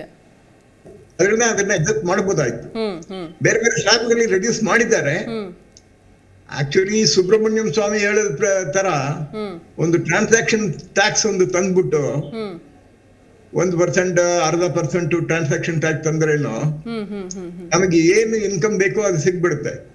ರೆವಿನ್ಯೂಸ್ ಈ ಇನ್ಕಮ್ ಟ್ಯಾಕ್ಸ್ ನೇ ಅಬಲಿಷ್ ಮಾಡಿಬಿಡ್ಬೇಕು. ಇನ್ನು ಪ್ರೋಗ್ರೆಸಿವ್ ಥಿಂಕಿಂಗ್ ಬೇಕು. ಮುಂದೆ ಅವ್ರು ಗೆಲ್ಲಿತಾರೆ. ಆ ಟೈಮಲ್ಲಿ ಮಾಡೇ ಮಾಡ್ತಾರೆ. Okay okay fine sir fine sir I'll come back to you again ಇದೇ ರೀತಿ ಲೈನಲ್ಲಿರಿ ಹೇಮಂತ್ ಸರ್ ನಾವು ಸುದೀರ್ಘವಾಗಿ ಮಾತಾಡಿದ್ವಿ ನೆನ್ನೆ ಏನು ಎತ್ತ ಹೆಂಗೆ ಯಾವ ಥರದ ಲಾಭ ಅಂತ. ಬಟ್ ಎಸ್ಪೆಷಲಿ ಇವತ್ತು ಟ್ಯಾಕ್ಸ್ ವಿಚಾರನೆ ಯಾಕೆ ತಗೊಂಡಿರೋದು ಅಂತಂದ್ರೆ ನಮ್ಮೆಲ್ರಿಗೂ ಕೂಡ ಗೊತ್ತು. ಸ್ಯಾಲ್ರಿಡ್ ಪರ್ಸನ್ಸೇ ನಾವು ಹೆಚ್ಚಿನದಾಗಿರೋದು. ಮಧ್ಯಮ ವರ್ಗದ ಜನ ಜಾಸ್ತಿ ಇದ್ದಾರೆ ಇದನ್ನ ನಂಬ್ಕೊಂಡು ಜೀವನ ಮಾಡೋರು ತುಂಬಾ ಜನ ಇದ್ದಾರೆ ಯಾಕಂದ್ರೆ ಇದು ನೇರವಾಗಿ ಪರಿಣಾಮ ಬೀರುವಂತಹ ಒಂದು ವಿಚಾರ. ಜನರ ಮೇಲೆ ಒಂದು ಡೈರೆಕ್ಟ್ ಆಗಿ ಏನೋ ಒಂದು ಇಂಪ್ಯಾಕ್ಟ್ ಆಗ್ತಾ ಇದೆ ಈ ಬಜೆಟ್ ಅಂತಂದ್ರೆ ಅದು ಮೊಟ್ಟ ಮೊದಲೇದಾಗಿ ಟ್ಯಾಕ್ಸ್ ಅಂತ ಹೇಳ್ಬೋದು ಟ್ಯಾಕ್ಸ್ ಸ್ಲ್ಯಾಬ್ ಅಂತ ಹೇಳ್ಬೋದು. ಸೊ ನೀವು ಹೇಗೆ ಇದನ್ನ ವಿಶ್ಲೇಷಣೆ ಮಾಡ್ತೀರಿ ಅಂತ? ಮುಖ್ಯವಾಗಿ ಸರ್ ಹೇಳಿದ ಹಾಗೆ ಸ ತುಂಬ ಕರೆಕ್ಟ್ ಇದೆ. ಆದ್ರೆ ಇದನ್ನ ಒಂದು ಬೇರೆ ರೀತಿಯಾಗಿ ನೋಡಬೇಕು. ಒಂದು ಅರ್ಥ ಮಾಡ್ಕೊಳ್ಳಿ. ಸರ್ಕಾರದವರು ಒಂದು ಅಗ್ರಿಕಲ್ಚರಲ್ ಫಾರ್ಮರ್ಸ್ಗೆ ನಾವು ಪ್ರತಿ ಮೂರು ತಿಂಗಳು ನಾಲ್ಕು ತಿಂಗಳು ಎರಡೆರಡು ಸಾವಿರ ರೂಪಾಯಿ ನಿಮಗೆ ಇನ್ಸೆಂಟಿವ್ ಆಗಿ ನಿಮಗೆ ಹೇಗೆ ಕೊಡ್ತೀನಿ ಅನ್ನೋದು ಅದೇ ರೀತಿ ಈಗ ಟಿಪಿಕಲ್ ಮಿಡಲ್ ಕ್ಲಾಸ್ ಫ್ಯಾಮಿಲಿಗೂ ಕೊಟ್ಟಂಗಾಗುತ್ತೆ. ಏನಾಗ್ತಿತ್ತು ಅಂದ್ರೆ ಮೊದಲು ಕೇವಲ ಶ್ರೀಸಾಮಾನ್ಯ ಹಂಗಂದ್ರೆ ಎರಡೂವರೆ ಲಕ್ಷದ ಕೆಳಗಿರೋರು ಮೂರು ಲಕ್ಷದ ಕೆಳಗಿರೋರು ಒಂದೂವರೆ ಲಕ್ಷ ಕೆಳಗಿರೋರಿಗೆ ಮಾತ್ರ ಎಕ್ಸಾಮಿಷನ್ ಅಂತ ಕೊಡ್ತಿದ್ರು. ಇದರಿಂದ ಏನಾಗ್ತಿತ್ತು ಅಂದ್ರೆ ತುಂಬಾ ಇನ್ಕಮ್ ಬರ್ತಾ ಇದ್ದವರು ಕೂಡ ಅವ್ರ ಇನ್ಕಮ್ ಅನ್ನ ತೋರಿಸ್ಕೊಳ್ತಾ ಇದ್ರು. ಯಾಕೆಂದ್ರೆ ನಾನು ಎಲ್ಲಿ ಟ್ಯಾಕ್ಸ್ ಬ್ರಾಕೆಟಿಗೆ ಬರ್ತೀನೋ ನಾನು ಎಲ್ಲಿ ಐದು ಪರ್ಸೆಂಟ್ ಇವತ್ತು ತೋರಿಸಿದ್ರು ನೆಕ್ಸ್ಟ್ ಹತ್ತು ಪರ್ಸೆಂಟ್ ತೋರಿಸ್ಬೇಕಾಗುತ್ತೆ. ನನಗೆ ಪ್ರತಿ ಸಲ ಫಾರ್ಮ್ ಸಿಕ್ಸ್ಟೀನ್ ಕಟ್ಟಬೇಕು ಅನ್ನೋ ಒಂದು ಪ್ರವೃತ್ತಿಲಿ ಯಾರು ಎಕ್ಸ್ಟ್ರಾ ಇನ್ಕಮ್ಮೇ ತೋರಿಸ್ತಾ ಇರಲಿಲ್ಲ. ಸೇಮ್ ಥಿಂಗ್ ವಿತ್ ವ್ಯವಹಾರದವರು ಕೂಡ. That means business merchants business merchants ಅವರು ಏನ್ ಮಾಡ್ತಿದ್ರು ಅಂದ್ರೆ ಕೋಟಿ ಕೋಟಿ ವ್ಯವಹಾರ ಮಾಡ್ತಿದ್ರು ಎಲ್ಲ ಬ್ಲ್ಯಾಕ್ ಅಲ್ಲಿ ಮಾಡ್ಬಿಟ್ಟು ಎಲ್ಲದನ್ನು ಕೂಡ ನಮಗೆ ಲಾಸ್ ಆಗ್ತಿದೆ ಆ ಸೋರ್ಸಸ್ ಅಂತ ಹೇಳಿ ಏನು ಆದಾಯಗಳು ತೋರಿಸ್ತಾ ಇರ್ತಿಲ್ಲ ಇದು ನಮ್ಮ ದೇಶದ ರಿಯಲ್ ಪೊಟೆನ್ಷಿಯಲ್ ಹಂಗಂದ್ರೆ ನಮ್ಮ ದೇಶದಲ್ಲಿ ನಿಜವಾಗ್ಲೂ ವ್ಯವಹಾರ ಆಗೋದನ್ನ ವ್ಯಕ್ತಪಡಿಸ್ತಾ ಇರಲಿಲ್ಲ. ಇದರಿಂದ ಏನಾಗೋದು? ನಮ್ಮ total income that is G D ನಮ್ದು ಏನಂತೀವಿ? ನಾಲ್ಕು ಟ್ರಿಲಿಯನ್ ಡಾಲರ್ ಐದು ಟ್ರಿಲಿಯನ್ ಡಾಲರ್ ನಮ್ದು ಎಕಾನಮಿ ಅಂತ ಏನು ಅಂತಿದ್ವಿ ಅದನ್ನ ನಾವು ಅಚೀವ್ ಮಾಡಕ್ ಆಗ್ತಿರ್ಲಿಲ್ಲ ಇದಕ್ಕೆ ಸರ್ಕಾರ ಫಸ್ಟ್ ಮೂಲ ಬಾಣ ಹೂಡಿದ್ದು ಏನು ಅಂದ್ರೆ ಡಿಜಿಟಲ್ ಪೇಮೆಂಟ್ ಈ ಡಿಜಿಟಲ್ ಪೇಮೆಂಟ್ ಅನ್ನ ನಿಮಗೆ ಗೊತ್ತೋ ಇಲ್ವೋ ಸರ್ಕಾರ ಪ್ರತಿ ವರ್ಷ ಆರು ಸಾವಿರ ಕೋಟಿ ರೂಪಾಯಿ ಇದರಿಂದ ನಷ್ಟ ಪಡಿತಾ ಇದೆ. ಏನಂದ್ರೆ ಪ್ರತಿಯೊಂದು ಟ್ರಾನ್ಸಾಕ್ಷನ್ ಮೇಲೂ ಬೀಳೋ ಕಾಸುಗಳನ್ನ ಸರ್ಕಾರ ಇವತ್ತು ಕೊಡ್ತಾ ಇದೆ. ಏನಕ್ಕಪ್ಪ ಸರ್ಕಾರ ಈ ಲಾಸನ್ನ ಐದಾರು ವರ್ಷದಿಂದ ಭರಿಸ್ತಾ ಇದೆ ಅಂತ ಹೇಳಿದ್ರೆ ಒಂದು ಆನ್ಲೈನ್ ಬೈಯಿಂಗ್ ಮತ್ತೆ ಆನ್ಲೈನ್ ಪೇಮೆಂಟಿನ ಕಲ್ಚರ್ ಇನ್ಕಲ್ಕೇಟ್ ಮಾಡೋದು ಅಷ್ಟು ಸುಲಭ ಅಲ್ಲ. ಮತ್ತೆ ಕಲ್ಚರ್ನ ಇನ್ಕಲ್ಕೇಟ್ ಮಾಡಾದ್ಮೇಲೆ ಅದು ಹ್ಯಾಬಿಟ್ ಮಾಡೋದು ಇನ್ನ ಕಷ್ಟ. Okay okay. ಹಾ ತುಂಬಾ ಶ್ರೀಸಾಮಾನ್ಯರಿಗೆ ಎಕ್ಸ್ಪ್ಲೈನ್ ಮಾಡಬೇಕು ಅಂದ್ರೆ ರಿಲಯನ್ಸ್ ಜಿಯೋ ತರ. ರಿಲಯನ್ಸ್ ಜಿಯೋ ಮಾರ್ಕೆಟ್ನಲ್ಲಿ ಬಂದಾಗ ಒಂದೂವರೆ ವರ್ಷ ಅವನು ಫ್ರೀ ಸಿಮ್ ಫ್ರೀ ಫ್ರೀ ಕೊಟ್ರು ಸರ್ ಹೌದು ಯಾತಕ್ಕೆ ಯಾತಕ್ ಒಂದೂವರೆ ವರ್ಷ ಕೊಟ್ರು ಅಂದ್ರೆ. ಜನರಿಗೆ ಅದರ ಅಭ್ಯಾಸ ಆಗಿ ಅದು ರುಚಿ ರುಚಿ ಹತ್ಸೋದು ಅಂತ ಹೇಳ್ತೀವಿ ನಾವು. ಅದು ಬಿಟ್ಟು ಇಲ್ಲದೆ ಇರೋ ತರ ಅಭ್ಯಾಸ ಆಗಬೇಕು ಅಂದ್ರೆ ಎರಡು ತಿಂಗಳು ಮೂರು ತಿಂಗಳು ಕೊಟ್ಟು ಬಿಡ್ಬಿಡಕ್ ಆಗಲ್ಲ ನಿಜ ಒಂದು ವರ್ಷ. ಹಾ ಅದೇ ತರ ಇದನ್ನ ಇನ್ನ ಐದರಿಂದ ಹತ್ತು ವರ್ಷ ಅಭ್ಯಾಸ ಮಾಡಿಸ್ತಾರೆ. ಅಭ್ಯಾಸ ಮಾಡಿಸಿದಾಗ ಇವತ್ತೇನಾಗ್ತಾ ಇದೆ ಮೇಡಮ್ ನಿನ್ನೆ ಹೇಳಿದಾಗೆ ನಾನು. ಏಳು ಸಾವಿರದ ಐನೂರು ಕೋಟಿ ಟ್ರಾನ್ಸಾಕ್ಷನ್ ಆಗಿದೆ. One hundred and twenty seven lakh crores digital transaction ಆಗ್ತಾ ಇದೆ. ಇದರಿಂದ ಏನಾಗ್ತಾ ಇದೆ ನಮ್ಮ ಜಿ ಎಸ್ ಟಿ ಮೇಲೆ ಇನ್ಕಮ್ ಕರೆಕ್ಟ್ ಆಗಿ ಬರ್ತಾ ಇದೆ ನೋಡಿ. ಎಲ್ಲಿ ಜಿ ಎಸ್ ಟಿ ಒಂದು ಲಕ್ಷ ದಾಟದೇ ಇದ್ದಿದ್ ಇವಾಗ ಒಂದೂವರೆ ಲಕ್ಷ. ಡೋಂಟ್ ಬಿ ಸರ್ಪ್ರೈಸ್ ಇನ್ನೊಂದು ಮೂರು ವರ್ಷದಲ್ಲಿ ಪ್ರತಿ ತಿಂಗಳು ಎರಡು ಲಕ್ಷ ಕೋಟಿ ಜಿ ಎಸ್ ಟಿ ಕಲೆಕ್ಷನ್ ಆಗುತ್ತೆ. ಎಕ್ಸಾಕ್ಟ್ಲಿ ಎಸ್ ಸೊ ಹಾಗಾಗಿ ಏನಾಗುತ್ತೆ ಅಂದ್ರೆ ಇವಾಗ ಶ್ರೀಸಾಮಾನ್ಯನಿಗೆ ಒಂದು ಆರು ಲಕ್ಷದವನಿಗೆ ಒಂದು ಹದಿನೈದು ಸಾವಿರ. ಹಂಗಂದ್ರೆ ಪ್ರತಿ ತಿಂಗಳು ಅವನಿಗೆ ಅವನ ಪಾಕೆಟ್ಗೆ ಒಂದು ಕಾಲ್ ಸಾವಿರ ರೂಪಾಯಿ ಎಕ್ಸ್ಟ್ರಾ ಕೊಟ್ಟಂಗಾಯ್ತು. ನಿಜ ನಿಜ. ಮತ್ತೆ ಈ ಮಧ್ಯಮ ವರ್ಗದವ್ರಿಗೆ ನಿನ್ನೆ ನಾನು ಹೇಳಿದೆ ಯಾವತ್ತೂ ಮಧ್ಯಮ ಮಧ್ಯಮ ವರ್ಗದವರು ನಿಕೃಷ್ಟವಾಗಿ ಕಳ್ಳೋರು ಯಾಕೆಂದ್ರೆ ಹೈಯರ್ ಪಾಪ್ಯುಲೇಷನ್ಗೆ ಏನು ಇನ್ಸೆಂಟಿವ್ ಕೊಡಕ್ಕಾಗಲ್ಲ ಅಂತ ಅವ್ರನ್ನ ಬಡವ ಮಡಗದಂಗಿರು ಅಂತ ಇಟ್ಬಿಟ್ಟಿದ್ರು. ಆದ್ರೆ ಈ ಇದರಿಂದ ಅವ್ರಿಗೂ ಕೂಡ ಏನಿಲ್ಲ ಅಂದ್ರೂ ಕೂಡ ಐವತ್ತರಿಂದ ಅರವತ್ತು ಸಾವಿರ ರೂಪಾಯಿ ಬರುತ್ತೆ. ಈ ಐವತ್ತರಿಂದ ಅರವತ್ತು ಸಾವಿರದ ಅಡ್ವಾಂಟೇಜ್ ಏನು ಅಂದ್ರೆ ಹನ್ನೆರಡು ತಿಂಗಳು ಡಿವೈಡ್ ಮಾಡಿದ್ರೆ ಪ್ರತಿ ತಿಂಗಳು ಸರ್ಕಾರ ಇನ್ಮೇಲಿಂದ ಹೇಗೆ ರೈತರಿಗೆ ಒಂದ್ ಸಾವಿರ ಎರಡ್ ಸಾವಿರ ಅವರ ಡೈರೆಕ್ಟ್ ಅಕೌಂಟ್ ಕೊಟ್ಟಾಗೆ ಪ್ರತಿಯೊಬ್ಬ ಮಿಡಲ್ ಕ್ಲಾಸ್ ಫ್ಯಾಮಿಲಿ ಕೈಗೂ ಮೂರ್ ಮೂರ್ ಸಾವಿರ ಎರಡ್ ಸಾವಿರ ರೂಪಾಯಿ ಕೊಟ್ಟಂಗಾಯ್ತು. ಓಕೆ ಓಕೆ ಇದು ಫಸ್ಟ್ ಪಾಯಿಂಟ್ ಇನ್ನೊಂದು ಹೇಳ್ಬೋದಾ? ಆಮೇಲೆ ತಗೋಬೇಕು ಎಸ್ ಸರ್ ನಾನು I come back to you I know you yes yes ಹೇಳಿ ಸರ್ ಹೇಳಿ ಸರ್ ಹೇಳಿ ಸರ್ ಈಗ ಇದಕ್ಕಿಂತ within year or year and half ನಾವು ಕಾಲದಲ್ಲಿ. ಮೂವತ್ ಸಾವಿರ ರೂಪಾಯಿ ಒಳ್ಳೆ income we are able to manage the family ಅಂತ ದಟ್ಸ್ ವಾಟ್ ಇವಾಗ ಲೈಫ್ ಸ್ಟೈಲು ಹಂಗಿಲ್ಲ ತುಂಬಾ ಬದಲಾವಣೆ ಆಗೋಗ್ಬಿಟ್ಟಿದೆ. ಅರವತ್ ಸಾವಿರ ರೂಪಾಯಿ ಕೈಯಲ್ಲಿ ಇದ್ರೇನು ನಮ್ಗೆ ಪೂರೈಸಿ ಆಗ್ತಾ ಇಲ್ಲ. ನಿಜ ನಿಜ ನಿಜ. ಅದ್ರ ಮೇಲೆ ನಾವ್ ಏನೋ ಒಂದು ಸಣ್ಣ ಪುಟ್ಟ ಅಪಾರ್ಟ್ಮೆಂಟ್ ತಗೋಬೇಕು ಅಂತ ಅಪೇಕ್ಷೆ ಮಾಡಿದ್ರೆ ಅದ್ರದ್ದು ಇ ಎಂ ಐ ನಿಜ. ಬೇರೆ ಅತ್ಯಾವಶ್ಯ ವಸ್ತುಗಳು ಫ್ರಿಡ್ಜ್ ಟಿವಿ ಇದೆಲ್ಲ ತಗೋ ತಗೋಬೇಕು ಇಲ್ಲ ವಾಷಿಂಗ್ ಮೆಷಿನ್ ಎಲ್ಲ ತಗೋಬೇಕಂದ್ರೆ ಅದ್ರದ್ದು ಇ ಎಂ ಐ ನಿಜ. ಇದೆಲ್ಲ ಸೇರಿಸ್ಬಿಟ್ರೆ ಒಟ್ಟು ನಮಗೆ ಎಂಟು ಏಳು ಎಪ್ಪತ್ತು ಸಾವಿರ ರೂಪಾಯಿ ಎಂಬತ್ತು ಸಾವಿರ ರೂಪಾಯಿ ಕೈಯಲ್ಲಿ ಇರಬೇಕು. ಆವಾಗ that is for minimum that is ಇಲ್ಲ. ಮಿನಿಮಮ್ ಲೈಫ್ ಸ್ಟೈಲ್ ಅಂತ ಹೇಳ್ಬೋದು ಅಂತ ಅನ್ಸುತ್ತೆ ಇಫ್ ಐ ನಾಟ್. ರಾಂಗ್ ಯಾಕಂತಂದ್ರೆ ದಿಸ್ ಇಸ್ ಲಕ್ಷ ಲಕ್ಷ ದುಡಿತಾರೆ ಅಂದಿದ ತಕ್ಷಣ ಓ ಅವರು ತುಂಬಾ ಶ್ರೀಮಂತರು ಅನ್ನುವಂಥ ಕಾಲ ಹೊರಟೋಯ್ತು ಈಗ. ಯಾಕಂತಂದ್ರೆ ಎಸ್ ಸರ್ ಎಕ್ಸಾಕ್ಟ್ಲಿ ಎಪ್ಪತ್ತು ಎಂಬತ್ತು ಸಾವಿರ ರೂಪಾಯಿ ಅಂದ್ರೆ ಹಾ. Eighty thousand into twelve is nine lakh sixty thousand ಹೌದು. ಅದಕ್ಕೆ ನಾನು ಹೇಳಿದೆ ಹತ್ತು ಲಕ್ಷವರೆಗೆ ಅವರು. ಒಳ್ಳೇದಾಯ್ತು ಅಂತ. Correct correct yes sir yes sir I'll come back to you ಒಂದು ವಿಚಾರ ಏನು ಅಂತಂದರೆ ವಸಂತ ಅವರು, ಒಂದು ಈಗ ಒಂದು ಕಡೆಯಿಂದ ಟ್ಯಾಕ್ಸ್ ರಿಬೇಟು ಕೂಡ ನಮಗೆ ಸಿಗ್ತಾ ಇದೆ ಅಂತಂದಾಗ ಎಲ್ರಿಗೂ ಒಂದು ಪ್ರಶ್ನೆ ಇರುತ್ತೆ. ಈಗ ಹೇಮಂತ್ ಅವರು ತುಂಬ ಒಂದು ಒಳ್ಳೆ ಪಾಯಿಂಟ್ ಹೇಳಿದ್ರು. ಒಂದು ಎರಡು ವರ್ಷ ಅಥವಾ ಐದು ವರ್ಷ, ಹತ್ತು ವರ್ಷನೂ ಕೊಡ್ತಾರೆ ಅಂತ. ಬಟ್ ಇದೇನಾದರೂ ಮುಂದಿನ ದಿನಗಳಲ್ಲಿ ಒಂದು ದೊಡ್ಡ ಮಟ್ಟದಲ್ಲಿ ಏನಾದರೂ ಬದಲಾವಣೆ ಆಗಿಬಿಟ್ರೆ ಜನರಿಗೆ ತುಂಬ ದೊಡ್ಡ ಹೊಡೆತ ಅಂತೂ ಬೀಳತ್ತೆ. ಸೊ ಇದು ಬದಲಾವಣೆ ಆಗೋ ಚಾನ್ಸಸ್ ಇದೆಯಾ? ಏನು ಹೇಳ್ತೀರಿ? ಬದಲಾವಣೆ ಕಡಿಮೆ ಆಗಬಹುದು ಅಥವಾ ತೆಗೆದೇ ಹಾಕಬಹುದೇನೋ ಅಥವಾ ಕಂಪ್ಲೀಟ್ ಆಗಿ ಇನ್ಕಮ್ ಟ್ಯಾಕ್ಸ್ ಟ್ಯಾಕ್ಸ್ ಸ್ಲ್ಯಾಬ್ ಯಾಕಂದ್ರೆ ಕಳೆದ ಬಾರಿ ನಮಗೆ ಈ ಹಿಂದೆ ಇದ್ದಂತಹ ಟ್ಯಾಕ್ಸ್ ಸ್ಲ್ಯಾಬ್ ಎಷ್ಟು ಮಟ್ಟಿಗೆ ಅಂತಂದ್ರೆ ಎರಡೂವರೆ ಲಕ್ಷದಿಂದ ಐದು ಲಕ್ಷದಿಂದ ಕಂಪ್ಲೀಟ್ ಆಗಿ ಚೇಂಜ್ ಆಗ್ತಾ ಇತ್ತು. ಸೊ ಈ ಒಂದು ಐದಾರು ಸ್ಲ್ಯಾಬ್ ಎಷ್ಟರ ಮಟ್ಟಿಗೆ ಅಂತಂದ್ರೆ ಒಂದು ಹತ್ತು ಸಾವಿರ ಹಿಂಗೆ ಕ್ರಾಸ್ ಆಗ್ತಿದ್ದಂಗೆ ಅಲ್ಲೊಂದು ಆಲ್ರೆಡಿ ಬೇರೆ ಸ್ಲ್ಯಾಬಿಗೆ ನಾವು ಹೊರಟೋಗ್ತಾ ಇದ್ದೀವಿ ಅದು ದೊಡ್ಡ ದೊಡ್ಡ ಸ್ಲ್ಯಾಬ್ಗಳು ಸೊ ಈ ಹೀಗಿದ್ದಾಗ ಸ್ವಲ್ಪ ಕಷ್ಟ ಆಗ್ತಾ ಇತ್ತು ಜನರಿಗೂ ಕೂಡ. ಏನಪ್ಪ ಬಂದಿದ್ದೆಲ್ಲ ಇಷ್ಟೊಂದು ದುಡ್ಡು ನಾವು ಆ, ಸರ್ಕಾರಕ್ಕೆ ಕಟ್ಟಬೇಕು ಅದ್ರ ಹೊರತಾಗ ಅಟ್ಲೀಸ್ಟ್ ನಾವು ಇಷ್ಟು ಖರ್ಚು ಮಾಡ್ಕೊಂಡು ಉಳಿತಾಯ ಮಾಡೋದಕ್ಕೂ ಅಷ್ಟು ಎಷ್ಟು ಟ್ಯಾಕ್ಸ್ ಕಟ್ತೀವೋ ಅಷ್ಟೊಂದು ಉಳಿತಾಯ ಕೂಡ ಮಾಡೋದಕ್ಕೆ ಆಗ್ತಾ ಇಲ್ಲ ಅನ್ನೋ ಒಂದು ಪ್ರಶ್ನೆಗಳಿತ್ತು ಎಲ್ಲರಲ್ಲೂ ಏನು ಹೇಳ್ತೀರಿ? ಅಲ್ಲ ನೀವಿದು ಹಳೆ ಆ, ಹಳೇದು ಈಗ ಒಂದಷ್ಟು ಬದಲಾವಣೆ ಆಗಿದೆ. ಬಟ್ ಒನ್ಸ್ ಅಗೇನ್ ಮತ್ತೆ ಇನ್ನೂ ಹೆಚ್ಚಿನದಾಗಿ ಮಾಡಿದ್ರೆ ಅನ್ನುವಂಥ ನಿಟ್ಟಿನಲ್ಲಿ. ಇಲ್ಲ ಈಗ ಇನ್ನೊಂದು ನಿನ್ನೆ ನಿರ್ಮಲಾ ಸೀತಾರಾಮನ್ ಅವ್ರು ಏನು ಹೇಳಿದ್ರು ಅಂದರೆ ಈ ಹೊಸ ಒಂದು ತೆರಿಗೆ ಪದ್ಧತಿ ಏನಿದೆ ಅದು that will be the default option ಅಂತ. ಡಿಫಾಲ್ಟ್ ಅಂದ್ರೆ ಏನು? ಪ್ರಮುಖ. ಅಂದ್ರೆ ಈಗ ಹೊಸದಾಗಿ. ಹೊಸದಾಗಿ ಕೆಲಸ ಸೇರ್ತೀನಿ. ಹುಡುಗ ನಾನೀಗ. ಈಗ ನನಗೆ ಏನು ಆಪ್ಷನ್ ಇರೋದಿಲ್ಲ. ಹಳೆ ನಂದು ಪದ್ಧತಿಗೆ ಹೋಗ್ಬೇಕು ಹೋಗ್ಬೋದಾ ಅಥವಾ ಹೊಸ ಪದ್ಧತಿಗೆ ಹೋಗ್ಬೋದಾ ಅಂತ. ಬೈ ಡಿಫಾಲ್ಟ್ ಅಂದ್ರೆ ಪ್ರಮುಖ. ಈಗ ನಾನು ಹೊಸ ಪದ್ಧತಿನೇ ನಾನು ಆಯ್ಕೆ ಮಾಡ್ಕೊಳ್ಬೇಕು. ಸೊ ಅನ್ನೋದನ್ನ ಒಂದು ಬೈ ಡಿಫಾಲ್ಟ್ ಮಾಡ್ಕೊಳ್ಳೇಬೇಕು. ಏನಾಗುತ್ತೆ ಅಂದ್ರೆ ಈಗ ಹಿಂದಿಂದು ನಾ ಹಳೆಯದು ತೆರಿಗೆ ಪದ್ಧತಿಲಿ ಏನೇನು ಬೆನಿಫಿಟ್ಸ್ ಲಾಭಗಳು ನಂಗೆ ಸಿಗ್ತಾ ಇತ್ತು? ಈಗ ಕೆಲವು ಕಲಂ ಎಂಬತ್ತು ಸಿ ಎಂಬತ್ತು 80 ಕೆಲವು ನಾನು ಬಂಡವಾಳ ಹಾಕ್ಬೋದಾಯಿತು ಕೆಲವು ಖರ್ಚು ಮಾಡ್ಬೋದಾಯಿತು ಆಮೇಲೆ ನಾನು ಡಿಡಕ್ಷನ್ ಕ್ಲೇಮ್ ಮಾಡ್ಬೋದಾಯಿತು. ಈಗ ಸುಮಾರು ಜನ ಸಾವಿರಾರು ಜನ ಇವಾಗ ತೆರಿಗೆದಾರ ಏನು ಮಾಡಿದ್ದಾರೆ ಅಂದರೆ ಗೃಹ ಸಾಲ ಅಂತ ತಗೊಂಡಿದ್ದಾರೆ ಅದ್ರ ಮೇಲೆ ಬಡ್ಡಿ ಏನಿದೆ ಅದನ್ನ ಒಂದು ಡಿಡಕ್ಷನ್ ಅಂತ ನಾನು ಕ್ಲೇಮ್ ಮಾಡ್ಬೋದು. ಇದರಿಂದ ನನ್ನ ಟ್ಯಾಕ್ಸೆಬಲ್ ಇನ್ಕಮ್ ಸೆಕ್ಷನ್ ಇಪ್ಪತ್ನಾಲ್ಕರಲ್ಲಿ.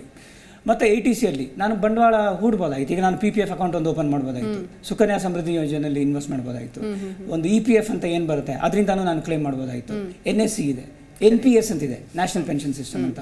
ಸೊ ಇದೆಲ್ಲ ಇವಾಗ ಈಗ ಮಾಡಿದವ್ರು ಆಗಲೇ ಹೂಡಿಕೆ ಮಾಡಿದವರು ನಿಜ. ಅವ್ರ ಕತೆ ಏನಾಗುತ್ತೆ? ಸೊ ಅವ್ರಿಗೇನೋ ಒಂದು ಅಂದರೆ ಅವ್ರಿಗೇನೋ ಒಂದು ಅವಕಾಶ ಕೊಡದೇ ಇದ್ರೆ ಹೊಸ ಇದಕ್ಕೆ ನೀವು ಎಲ್ಲ ಹೊಸದಕ್ಕೆ ಬರಲೇಬೇಕು ಹೊಸ ತೆರಿಗೆ ವ್ಯವಸ್ಥೆಗೆ ನೀವು ಬರಲೇಬೇಕು ಅಂತ ಹೇಳಿದ್ರೆ ಈಗ ಅವರು ಇನ್ವೆಸ್ಟ್ ಮಾಡಿರೋದು ಅಥವಾ ಈಗ ಸಾಲ ತಗೊಂಡಿರೋರಿಗೆ ಏನು ಬೆನಿಫಿಟ್ ಸಿಗಲ್ಲ ಅಂದರೆ ಅದು ಒಂದು ಸ್ವಲ್ಪ ಒಂದು ಹಾರ್ಶ್ ಒಂದು ಪ್ರಪೋಸಲ್ ಅಂತ ಹೇಳ್ಬೋದು. ನಾನು ಒಂದು ಹೇಳಕ್ಕೆ ಬಯಸ್ತೀನಿ. ಮತ್ತು ಇನ್ನೊಂದು ನಾವು ಇದರಲ್ಲಿ ನಂದು ಏನು ವಾದ ಅಂದರೆ ಈಗ ತೆರಿಗೆದಾರರ ಪರವಾಗಿ ನಾನು ಬ್ಯಾಟ್ ಮಾಡಬೇಕು ಅಂದರೆ ನಮ್ಮ ದೇಶದಲ್ಲಿ ನೂರ ನಲವತ್ತು ಕೋಟಿ ಜನರಲ್ಲಿ ಟ್ಯಾಕ್ಸ್ ಕಟ್ಟೋರು ನಮ್ಮ ನಿನ್ನೆ ಹಣಕಾಸು ಮಂತ್ರಿಗಳು ಹೇಳಿದ ಪ್ರಕಾರ ಐದು ಕೋಟಿ ಜನ ಮಾತ್ರ. ನಾವು ಐದು ಕೋಟಿ ಜನ ಏನು ಮಾಡ್ತಾ ಇದ್ದೀವಿ ಅಂದರೆ ಈ ಸರ್ಕಾರಕ್ಕೆ ಏನು ಒಂದು ಆದಾಯ ಅಂತ ಬರ್ತಾ ಇದೆ ಅದರಲ್ಲಿ ಹದ್ ಶೇಕಡ ಹದಿನೈದರಷ್ಟು ಈ ತೆರಿಗೆಯಿಂದನೇ ಬರ್ತಾ ಇದೆ. ಆದಾಯ ತೆರಿಗೆಯಿಂದ. ಸೊ ಅದರಿಂದ ನಮ್ಮ ಈ ಈ ಲಾಬಿ ಅಂತ ಏನು ಲಾಬಿ ಅಂತ ಹೇಳೋಕ್ಕೆ ಇಷ್ಟಪಡೋದಿಲ್ಲ. ನಾವು ಯಾರು ತೆರಿಗೆದಾರ ಇದ್ದೀವಿ ಅಲ್ವಾ? ಸೊ ನಮಗೆ ಸ್ವಲ್ಪ ಏನೋ ಒಂದು ರಿಯಾಯಿತಿನೋ ಅಥವಾ ವಿನಾಯಿತಿನೋ ಅಟ್ಲೀಸ್ಟ್ ಬೇರೆ ಬೇರೆ ಆ, ಕ್ಷೇತ್ರಗಳಲ್ಲಿ ಒಂದು ಶಾಲೆಗೆ ಸೇರಿಸಿದಾಗೋ ಮತ್ತೊಂದು ಸರ್ಕಾರಿ ಸೌಲಭ್ಯಗಳು. ನಮ್ಮತ್ರ ಮಂಜರ್ ಡ್ಯೂ ಯು ಅಗ್ರಿ ದಿಸ್ ನಮಗೆ ಒಂದಷ್ಟು ಸೌಲಭ್ಯಗಳು ಟ್ಯಾಕ್ಸ್ ಪೇಯರ್ಸ್ಗೆ ಅಂತಾನೆ ಕೊಡಬೇಕು ಅಂತ ಅನ್ಸೋದಿಲ್ವಾ? ಕೆಲವೊಂದು ದೇಶಗಳಲ್ಲಿ ಇದೆ ಟ್ಯಾಕ್ಸ್ ಪೇಯರ್ಸ್ಗೆ ಅಂತಾನೆ ವಿಶೇಷವಾದಂತಹ ಒಂದಷ್ಟು ಬೇರೆ ಬೇರೆ ಸೌಲಭ್ಯಗಳಿದೆ. ಅಲ್ವಾ ಸರ್? ಸಂಪತ್ ರಾಮನ್ ಸರ್ ಕೇಳ್ತಾ ಇದೆಯಾ. ಹಾ ಹಾ. ಆ, ಕೇಳ್ತಾ ಇದೆ ಹಾ ಹೇಳಿ ಸರ್ ಹೇಳಿ. ಇದು absolutely correct and right expectation ನಾವು ಒಂದು ಅಲ್ಪಸಂಖ್ಯೆನವರು ಒಂದು ಒಂದೂವರೆ ಕೋಟಿ ಎರಡೂವರೆ ಎರಡು ಜನ. ನೂರ ಮೂವತ್ತು ಕೋಟಿ ಜನಗೆ ಕಾಪಾಡಬೇಕಂತ ಹೇಳಿದ್ರೆ at some point of time ಏನ್ ಏನಕ್ಕೆ ಇಷ್ಟೊಂದು ಕಮಾಯಿ ಮಾಡಬೇಕು ಬೇರೆ ಕಡೆ ವೇಸ್ಟ್ ಆಗತ್ತಲ್ವಾ. ಅಂತ. ತಲೆಯಲ್ಲಿ ಬಂದೇ ಬರುತ್ತೆ. ಯಾಕಂದ್ರೆ ನಾವು ಕನ್ಸೆಷನ್ಸ್ ಕೊಡ್ತೀವಿ ಅಂತಾರೆ ಎಷ್ಟೋ ಜನ ಕನ್ಸೆಷನ್ ತಗೊಳಕ್ಕೆ ಸೇರ್ಕೊಳ್ತಾರೆ. ಈಗ. ಎಸ್ ಟಿ ಎಸ್ ಟಿ ಅಂತ ಇದ್ರೆ ಈಗ S T S T tag ತಗೊಳ್ಳಕ್ಕೆ S C S T ಅಂತ ಹೇಳಕ್ಕೆ ಅದೊಂದು ಒಂದು ತಹಸೀಲ್ದಾರ್ ಹತ್ರ ಸರ್ಟಿಫಿಕೇಟ್ ತಗೊಳ್ತಾರೆ. ಅಲ್ಲಿ ಕ್ಯೂ ಸಿಕ್ಕಾಪಟ್ಟೆ ಆಗತ್ತೆ. ಅಂದ್ರೆ ಜನರು ಕೆಲಸ ಮಾಡಲ್ಲ. ಯಾವ್ದೋ ಒಂದು ಬ್ಯಾಕ್ವರ್ಡ್ ಸ್ಟೇಟಸ್ ನಾನು ತಗೊಳ್ತೀನಿ ನನಗೆ ಆಟೋಮ್ಯಾಟಿಕ್ ದುಡ್ಡು ಸಿಗುತ್ತೆ ಅಂತ. ಇದು ಕಮ್ಯುನಿಸಂ ವಿಷಯ ನಾವು ಮಾತಾಡುವಾಗ ಒಂದು ಹೇಳ್ತೀವಿ ಯಾವಾಗ್ಲೂ. We are distributing wealth of minority so much so the minority loses interest in producing in in earning income ಇದು this is what is to be thought about ಎಲ್ಲದೂ ಕೊಡ್ಲಿ. ಹತ್ತು ರೂಪಾಯಿ ಕಮಾಯಿ ಮಾಡೋನು ಐದು ಪೈಸಾ ಕೊಡ್ಲಿ. ಅವನು ಟ್ರಾನ್ಸಾಕ್ಷನ್ ಏನ್ ಮಾಡ್ತಾನೋ ಅದರಲ್ಲಿ ಒಂದು ಸಣ್ಣ ಪುಟ್ಟ ಟ್ರಾನ್ಸಾಕ್ಷನ್ ಟ್ಯಾಕ್ಸ್ ಹಾಕ್ಬಿಟ್ರೆ ನೀವು ಇನ್ಕಮ್ ಟ್ಯಾಕ್ಸ್ ಕಲೆಕ್ಟ್ ಮಾಡೋದಕ್ಕೆ ಬೇಕಾಗಿಲ್ಲ. ಆಟೋಮ್ಯಾಟಿಕ್ ರೆವಿನ್ಯೂ ಕಲೆಕ್ಟ್ ಆಗತ್ತೆ. ಈ ಪದ್ಧತಿ ಬಂದೇ ಬರಬೇಕು yes yes exactly okay Hemant sir ನೀವು ಅದೇ ವಿಷಯ ಕಂಟಿನ್ಯೂ ಮಾಡ್ತೀರಾ? ಅಥವಾ ನಾನು ಬೇರೆ ಪ್ರಶ್ನೆ ಕೇಳಲ್ಲ ಇದೇ ವಿಷಯಕ್ಕೆ ನನ್ನ ಒಂದು ಸ್ವಲ್ಪ ಬೇರೆ ಉತ್ತರ ಪ್ಲೀಸ್ ಸಿ ವೆನ್ ನಮ್ಮ ಇಂಡಿಯಾ ಇಂಡಿಪೆಂಡೆಂಟ್ ಆದಾಗ ಏನಾಯ್ತು ಅಂದ್ರೆ ಜನಗಳ ಹತ್ರ ಡೆಪಾಸಿಟ್ ಮಾಡೋರ್ನ ದೇವರಾಗಿ ಕಾಣ್ತಿದ್ರು ಸಾಲ ತಗೋರೋರ್ನ ಭಿಕ್ಷುಕರಾಗಿ ಕಾಣ್ತಾ ಇದ್ರು. ಯಾಕೆಂದ್ರೆ ನಮ್ಮ ದೇಶದಲ್ಲಿ ದುಡ್ಡಿನ ಉತ್ಪಾದನೆ ಇರಲಿಲ್ಲ. ಮತ್ತೆ ಬಡ್ಡಿ ದರ ಇಪ್ಪತ್ತೈದು ಪರ್ಸೆಂಟ್ ಮೂವತ್ತು ಪರ್ಸೆಂಟ್ ಇರ್ತಿತ್ತು. ಬ್ಯಾಂಕ್ ಬಡ್ಡಿಗಳು. ಹೋಗ್ತಾ ಹೋಗ್ತಾ ಹೋಗ್ತಾ ಏನಾಯ್ತು? ಪ್ರೀ ಲಿಬರಲೈಸೇಷನ್ ಪೋಸ್ಟ್ ಲಿಬರಲೈಸೇಷನ್ ಹಲವಾರಾಗಿ ಬೇರೆ ದೇಶಗಳ ದುಡ್ಡುಗಳು ಕೂಡ ನಮ್ಮ ದೇಶದಲ್ಲಿ ಸಾಲಗಳಾಗಿ ಶುರುವಾದವು ಹೌದು. ಸೊ ಅವಾಗ ಏನಾಯ್ತು ಕ್ರೆಡಿಟ್ ಫೆಸಿಲಿಟಿ ಜಾಸ್ತಿ ಆಯ್ತು. ನಮ್ಮ ಹತ್ರ ಆದಾಯ ನಾವೇನು ಡೆಪಾಸಿಟರ್ಸ್ ಕಮ್ಮಿ ಆದ್ರು ನಾವು ಡೆಪಾಸಿಟರ್ ಮೇಲೆ ಅವಲಂಬಿತವಾಗಿರ್ಲಿಲ್ಲ. ಕರೆಕ್ಟ್ ಸೊ ಹೀಗಾದಾಗ ಏನಾಯ್ತು? ಡೆಪಾಸಿಟರ್ನ ಎನ್ಕರೇಜ್ ಮಾಡಬೇಕು ಅನ್ನೋಕ್ಕೋಸ್ಕರ ನೀವು ಮ್ಯೂಚುವಲ್ ಫಂಡ್ಗೆ ಹಾಕ್ರಿ. ನಿಮ್ಗೆ ಇಷ್ಟು ಟ್ಯಾಕ್ಸಲ್ಲಿ ರಿಬೇಟ್ ಕೊಡ್ತೀವಿ. ನೀವು ಮಕ್ಕಳ ಫೀಸ್ಗೆ ಇಷ್ಟು ರಿಬೇಟ್ ಕೊಡ್ತೀವಿ ಅಂತ ಹೇಳಿ ಸೆಕ್ಟರ್ಗಳನ್ನ ಬೆಳೆಯೋದಕ್ಕೋಸ್ಕರ ಒಂದು ಯಾವುದೇ ಒಂದು ಹೊಸ ಅಭ್ಯಾಸ ಕೊಡಬೇಕು ಅಂದ್ರೆ ಮಕ್ಕಳಿಗೆ ಚಾಕ್ಲೇಟ್ ಕೊಟ್ಟಂಗೆ ಏನಾದ್ರು ಕೊಡ್ಲೇಬೇಕು. ನಿಜ ನಿಜ ಸೊ ಅದಕ್ಕೆ ನೀವು ಮ್ಯೂಚುವಲ್ ಫಂಡ್ ಅಲ್ಲಿ ದುಡ್ಡು ಹಾಕಿದ್ರೆ ನಿಮ್ಗೆ ಇಷ್ಟು ಎಕ್ಸಾಮ್ಷನ್. ನೀವು government bond N H I ಅಲ್ಲಿ ಇದ್ರಲ್ಲಿ ದುಡ್ಡು ಹಾಕಿದ್ರೆ ನಿಮ್ಗೆ ಇಷ್ಟು ರಿಬೇಟ್ ಕೊಡ್ತೀವಿ ಅನ್ನೋ ಒಂದು ಕಲ್ಚರ್ ಕೊಟ್ಟು. ಇದೇನಾಗ್ತಾ ಶುರು ಆಯ್ತು ಅಂದ್ರೆ ಈ ದೊಡ್ಡ ದೊಡ್ಡ ಇನ್ಕಮ್ ಟ್ಯಾಕ್ಸ್ ಏನಂತಾರೆ ಸೋ ಕಾಲ್ಡ್ ಆಡಿಟರ್ಸ್ ಅಥವಾ ಚಾರ್ಟರ್ಡ್ ಅಕೌಂಟೆಂಟ್ಸು ಇದನ್ನ ಇಟ್ಕೊಂಡು ಮ್ಯಾನಿಪುಲೇಟ್ ಮಾಡಕ್ ಶುರು ಮಾಡಿದ್ರು. ನಿಜ ನಿಜ. ಮತ್ತೆ ಟ್ಯಾಕ್ಸ್ ಪೇಯಿಂಗ್ ರಿಜಿಮೆ ಯಾವ ರೀತಿ ಆಗೋಕ್ ಶುರುವಾಯ್ತು ಅಂದ್ರೆ ದೊಡ್ಡ T D S task tax ಒಬ್ಬ ಆಡಿಟರ್ ಹತ್ರ ಹೋಯ್ತು ಅಂದ್ರೆ ತುಂಬಾ ದುಡ್ಡು ಉಳಿಸ್ಕೊಡ್ತಾನೆ ಅನ್ನೋ ಒಂದು ಪ್ರವೃತ್ತಿ ಬರಕ್ ಶುರುವಾಯ್ತು. ಸೊ ಅವ್ರೇನಂತಿದ್ರು? ಓ ನಿನಗೆ ದುಡ್ಡು ಇದೆಯಾ ಇನ್ಶೂರೆನ್ಸ್ ತಗೋ ನೀನ್ ಇದನ್ನ ತಗೋ ಅಂತ ಹೇಳಿ ಒಂದು ಇಲ್ಲ ಹಿಂದೂ ಅನ್ಡಿವೈಡೆಡ್ ಫ್ಯಾಮಿಲಿ ಒಂದು ಅಕೌಂಟ್ ಓಪನ್ ಮಾಡು. ಅದರಿಂದ ನಿಮ್ ದುಡ್ಡನ್ನ ಡಿವೈಡ್ ಮಾಡಿಸ್ತೀನಿ ಅಂತ ಹೇಳಿ ಸರ್ಕಾರಕ್ಕೆ ಸಲ್ಲಬೇಕಾಗಿರೋ ದುಡ್ಡುಗಳನ್ನ ಬೇರೆ ಬೇರೆ ರೀತಿ ಸರ್ಕಾರಕ್ಕೂ ಕಮ್ಮಿ ಮಾಡ್ತಿದ್ರು. ಇದರಿಂದ ಇದು ಇನ್ಫ್ಯಾಕ್ಟ್ ಏನಂದ್ರೆ ಸಿಸ್ಟಮ್ ಲೂಪ್ ಹೋಲ್ ಅಂತ ನಾನು ಹೇಳಕ್ ಇಷ್ಟಪಡ್ತೀನಿ. ಜನರಿಗೆ ಟ್ಯಾಕ್ಸ್ ಅಂದ್ರೆ ಒಂಥರ ಭಯ ಆಗೋ ತರ ಸಿಸ್ಟಮ್ ಸೊ ಈ ಹೊಸ ಬಿಜೆಪಿ ಸರ್ಕಾರ ಏನ್ ಮಾಡ್ತಿದೆ ಅಂದ್ರೆ ನೋಡಪ್ಪ ನಾನು ನಿನಗೆ ಎಷ್ಟೋ ಜನಗಳಿದ್ದಾರೆ.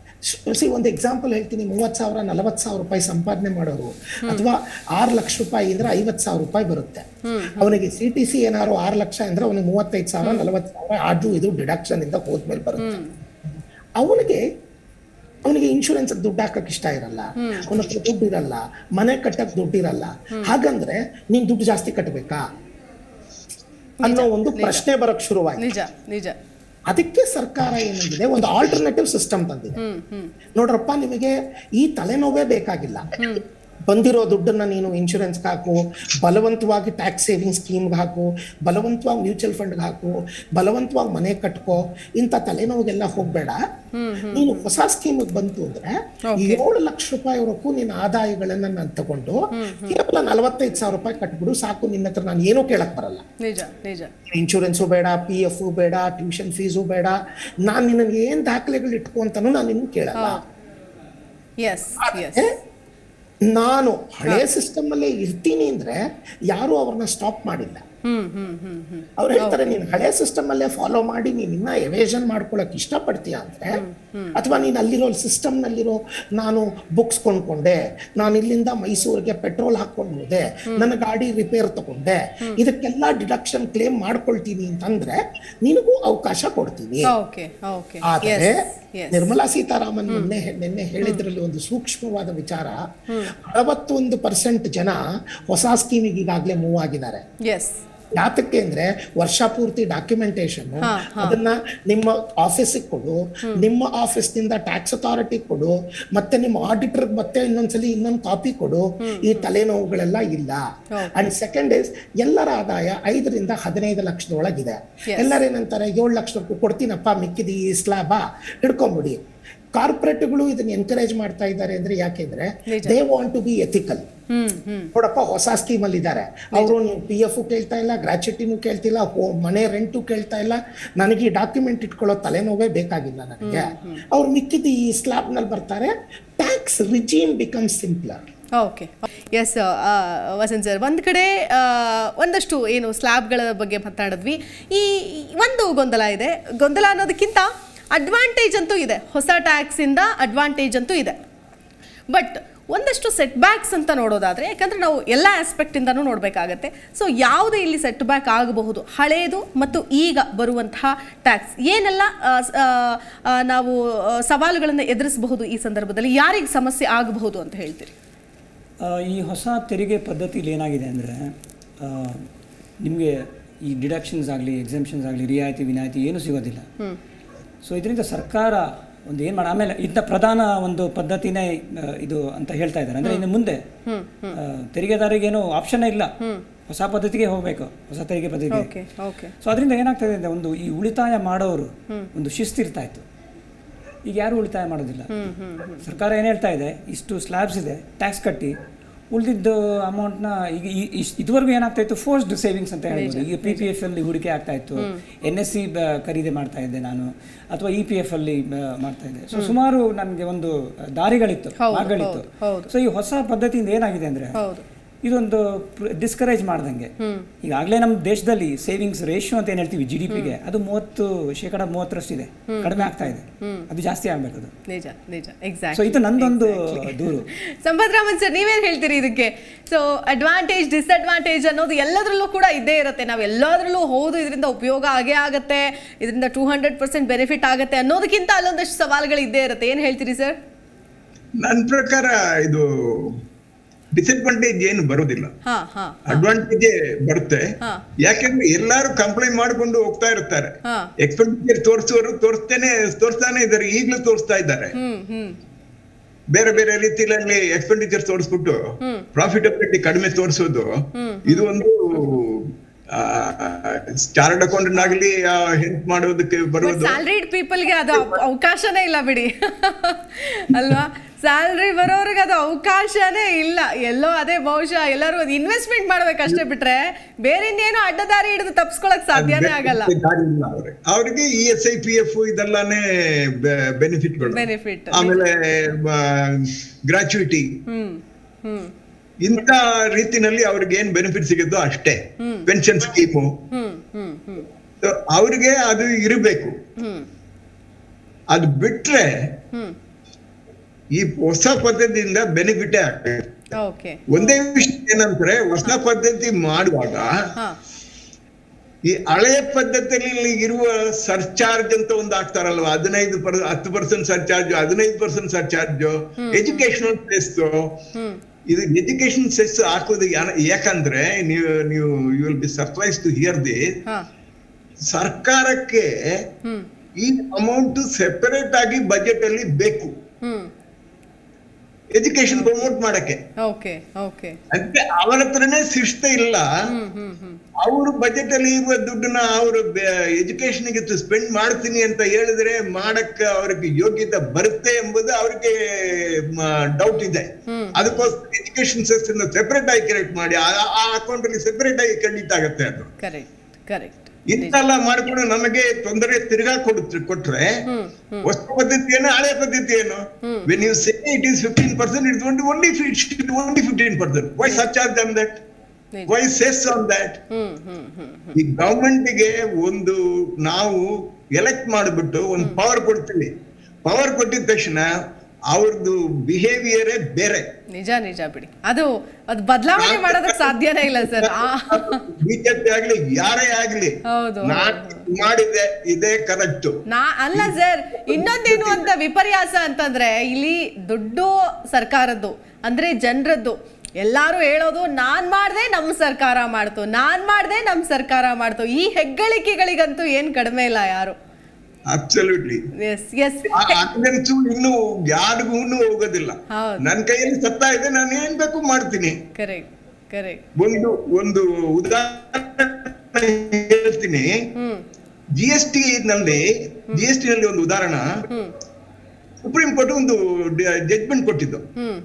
ಏನಂತಂದ್ರೆ ನೀವು ಸರ್ವಿಸ್ ಟ್ಯಾಕ್ಸ್ ಏನು ಯುಟಿಲೈಸ್ ಮಾಡಕ್ಕಾಗಲ್ಲ ಅಂತ ಸರ್ಪ್ಲಸ್ ಇದ್ದು ಅದನ್ನ ರೀಫಂಡ್ ಮಾಡ್ಲೇಬೇಕು. ನಾನೇನು ಆತರ ಡಿಸಿಷನ್ ಕೊಡಲ್ಲ. ನಾನು ಈ ತರ ಒಪಿನಿಯನ್ ಹೇಳ್ತೀನಿ ಅಂತ ತೀರ್ಪು ಕೊಟ್ಟಿದ್ದು. ಓ ವೆರಿ ನೈಸ್ ಅದು ಜಿ ಎಸ್ ಟಿ ಕೌನ್ಸಿಲ್ ಅಲ್ಲಿ ಡಿಸಿಷನ್ ತಗೋಬೇಕಾಗಿತ್ತು. ಜಿ ಎಸ್ ಟಿ ಕೌನ್ಸಿಲ್ ಏನ್ ತಗೊಂಡಿದೆ? ಎಸ್ ಎಸ್ ನಾವು ಮಾಡಿದ್ದು ಆದ್ರೆ ಇವತ್ತಿಂದ ನಿನಗೆ ಕೊಡ್ತೀನಿ. ಹಳೆದು ಕೊಡಲ್ಲ. ಯಾಕೆ? ಹಳೆ ತಪ್ಪು ಅಂತ ಒಪ್ಕೊಂಡಿದ್ಮೇಲೆ ಟೂ ತೌಸಂಡ್ ಸೆವೆಂಟೀನ್ ತಪ್ಪು ಮಾಡಿದಾರಲ್ವಾ? ನಿಜ ನಿಜ ನಿಜ. ರೆಟ್ರಾಸ್ಪೆಕ್ಟಿವ್ ಕೊಡ್ಬೇಕಲ್ವಾ? ಕೊಟ್ಟಿಲ್ಲ. ಅದೇ ಅರಗನ್ಸ್ ಇಂತೆಲ್ಲ ಕೆಲಸಗಳು ಆಗ್ತಾ ಇದೆ. So, okay okay when you say when you say there is one percent one method of uh, uh, say giving con, uh, credit hmm, hmm, hmm. it should be approved throughout okay okay yes sir exactly exactly yes sir. Huh? Huh. Manipulation ಈಗಲೂ ಮಾಡುವರಿದ್ದಾರೆ ಹಳೆ ಹೌದು sir. ಅಲ್ಲ ಇದನ್ನ ಬದಲಾವಣೆ ಮಾಡೋದಕ್ಕೆ ಆಗಲ್ಲ ಬಿಡಿ. ಆಯ್ತಾ? ಇನ್ನು ಇನ್ನು ಇನ್ನು ಇದು ಇದೇ ರೀತಿಯಾಗಿ ಅತಿರೇಕವಾಗಿ ಮುಂದುವರ್ಕೊಂಡು ಹೋಗುತ್ತೆ ಹೊರತು ಇದನ್ನ ಬದಲಾವಣೆ ಮಾಡೋದ್ ಕಷ್ಟ. ಇರ್ಲಿ ಫೈನ್ ಅದನ್ನ ಮತ್ತೆ ಮಾತಾಡೋಣ ಸರ್. ಹೇಮಂತ್ ಸರ್ ಈಗ ಟ್ಯಾಕ್ಸ್ ಕಟ್ಟೋ ಸಂದರ್ಭದಲ್ಲಿ ಏನೋ ಒಂದು ಲಕ್ಷ ಆಚೀಚೆ ಆಗ್ತಾ ಇರುತ್ತೆ. ಅಂದ್ರೆ ಇನ್ನೊಂದು ಐವತ್ತು ಸಾವಿರ ಕಡಿಮೆ ಸಂಬಳ ಬಂದಿದ್ರೆ ಸಾಕಿತ್ತು ಎಪ್ಪತ್ತು ಸಾವಿರ ಟ್ಯಾಕ್ಸ್ ಉಳಿಸ್ಬೋದಾಗಿತ್ತು ಅನ್ನೋ ಸಿಚುವೇಶನ್ಸ್ ತುಂಬಾ ಜನಕ್ಕೆ ಬರುತ್ತೆ. ಅಂಥ ಟೈಮಲ್ಲಿ ಏನಾದರೂ ಒಂದು ಟಿಪ್ಸ್ ಕೊಡಬೇಕು ಸೊ ಇಂಥದಕ್ಕೆ ಇನ್ವೆಸ್ಟ್ಮೆಂಟ್ ಮಾಡಿ ಅಥವಾ ಇನ್ನೇನೋ ಮಾಡಿ ಅಥವಾ ಈ ಥರ ಮಾಡಿದ್ರೆ ಉಳಿತಾಯ ಮಾಡಬಹುದು ಅಥವಾ ಕಡಿಮೆ ಉಳಿತಾಯ ಅನ್ನೋದಕ್ಕಿಂತ ಕಡಿಮೆ ಮಾಡ್ಕೊಳ್ಬಹುದು ಅನ್ನೋದಿದ್ರೆ ಏನು ಹೇಳ್ತೀರಿ ಸರ್ ಇದೆ. ಏನಂದ್ರೆ ಈ ಹೊಸ ಸ್ಕೀಮ್ನಲ್ಲಿ. ಇವಾಗ ಪ್ರಶ್ನೆ ಕೇಳಿದ್ರಲ್ಲ ಈ ಪ್ರಶ್ನೆಗಳೆಲ್ಲ ಕೇಳಬಾರದು ಅನ್ನೋದಕ್ಕೋಸ್ಕರನೇ ಹೊಸ ಸ್ಕೀಮ್ ತಂದಿರೋದು. ಆದ್ರೂ ನೀವು ಹಳೆ ಸ್ಕೀಮ್ ಅಲ್ಲಿ ಇತ್ತು ಅಂತ ಹೇಳಿದ್ರೆ ನೀವು ಇನ್ಕಮ್ ಫ್ರಮ್ ಅದರ್ ಸೋರ್ಸಸ್ ಅಂತ ತೋರಿಸ್ಕೊಂಡು ಇನ್ಕಮ್ ಫ್ರಮ್ ಅದರ್ ಸೋರ್ಸಸ್ನಲ್ಲಿ ನಾನು ಈ ತರ ಮಾಡ್ತಿದ್ದೆ ನಾನು ಈ ತರ ವೆಚ್ಚ ಮಾಡಿದೆ ನಾನು ಅದಕ್ಕೆ ಆ ತರ ವೆಚ್ಚ ಮಾಡಿದೆ ನನಗೆ ಇನ್ಕಮ್ ಫ್ರಮ್ ಅದರ್ ಸೋರ್ಸಸ್ನಲ್ಲಿ ಲಾಸ್ ಆಯ್ತು ಅಂತ ತೋರಿಸಿ ಅದರಿಂದ ನಿಮ್ಮ ಆ ಎಕ್ಸ್ಟ್ರಾ ಇದೆಯಲ್ಲ ಎಲ್ಲೋ ಒಂದು ಬ್ರಾಕೆಟ್ಗೆ ಮೂವತ್ತನೇ ಪರ್ಸೆಂಟ್ ಬರ್ತಿದ್ದಾಗ ಒಂದು ಇಪ್ಪತ್ತು ಸಾವಿರ ಜಾಸ್ತಿ ಬರ್ತಿದ್ದೀರಾ ಅಂದ್ರೆ ಆ ಇಪ್ಪತ್ತು ಸಾವಿರ ಲಾಸ್ ತೋರಿಸ್ಕೊಂಡು ಇಪ್ಪತ್ತು ಪರ್ಸೆಂಟ್ ಬ್ರಾಕೆಟ್ ಅಲ್ಲಿ ಬಂದು ಏನೋ ಒಂದು ಮಾಡ್ಕೋಬೇಕು ಓಕೆ. ಇದು ಅದು. ಆದರೆ ನಾನು ಎರಡು ವಿಚಾರ ಹೇಳೋದಕ್ಕೆ ಪರ್ಮಿಷನ್ ಇದೆಯಾ? ಪ್ಲೀಸ್ ಹೇಳಿ ಇಬ್ಬರು ಸರ್ಗಳು ಹೇಳಿದ್ದು ತುಂಬಾ ಉತ್ತಮವಾದ ಮಾತು. ಫಸ್ಟ್ ಹೇಳಿದ್ದು ಸೇವಿಂಗ್ ಹ್ಯಾಬಿಟ್ಸ್ ಮೇಲಿಂದ ಚೇಂಜ್ ಆಗುತ್ತೆ. ಹೌದು ಹೌದು. ಹೇಗೆ ಸರ್ ಹೇಳಿದ್ರು ಕಂಪಲ್ಸಿವ್ ಸೇವಿಂಗ್ ಬಿಹೇವಿಯರ್ ಇತ್ತು ಇಂಡಿಯಾನಲ್ಲಿ ಅದು ಈ ಜನರೇಷನ್ ಹೊಸ ಜನರೇಷನ್ ಅಲ್ಲಿ ಮಾಡಿಫೈ ಆಗುತ್ತೆ. ಯಾತಕ್ಕೆ ಹೇಳ್ತೀನಿ ಅಂದ್ರೆ ಹೊಸ ಮಾಡ್ ಜನರು ತುಂಬಾ ಮಟೀರಿಯಲಿಸ್ಟಿಕ್ ನನಗೆ ಕಾರ್ ಬೇಕು ಬೈಕ್ ಬೇಕು ಸಾಲ ಮಾಡಿ ತುಪ್ಪ ತಿನ್ನು ಅನ್ನೋ ಮನೋಭಾವ ಜಾಸ್ತಿ ಇದೆ. ಈ ಹಳೆದ್ರಲ್ಲಿ ಏನಾಗ್ತಿತ್ತು ಟ್ಯಾಕ್ಸ್ ಉಳಿಸ್ತೀನಲ್ಲ ಅಂತ at least P P F P F ಅಂತ ಬಲವಂತವಾಗಿ ದುಡ್ಡು ಹೋಗೋದು. ಅದು ಒಂದು ಚೇಂಜ್ ಆಗುತ್ತೆ.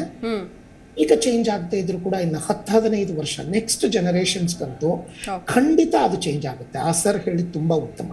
And second sir Sampath sir ಹೇಳಿದ್ದು ಕರೆಕ್ಟ್ ಸಿ ಹಳೆ ಕಾಲದಲ್ಲಿ ಇವಾಗ ಒಂದು ಬ್ರಿಟಿಷ್ ತಗೊಳ್ಳಿ.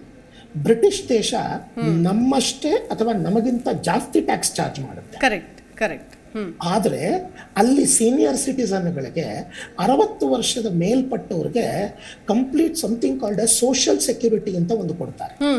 ಹಾಗಂದ್ರೆ ಏನು?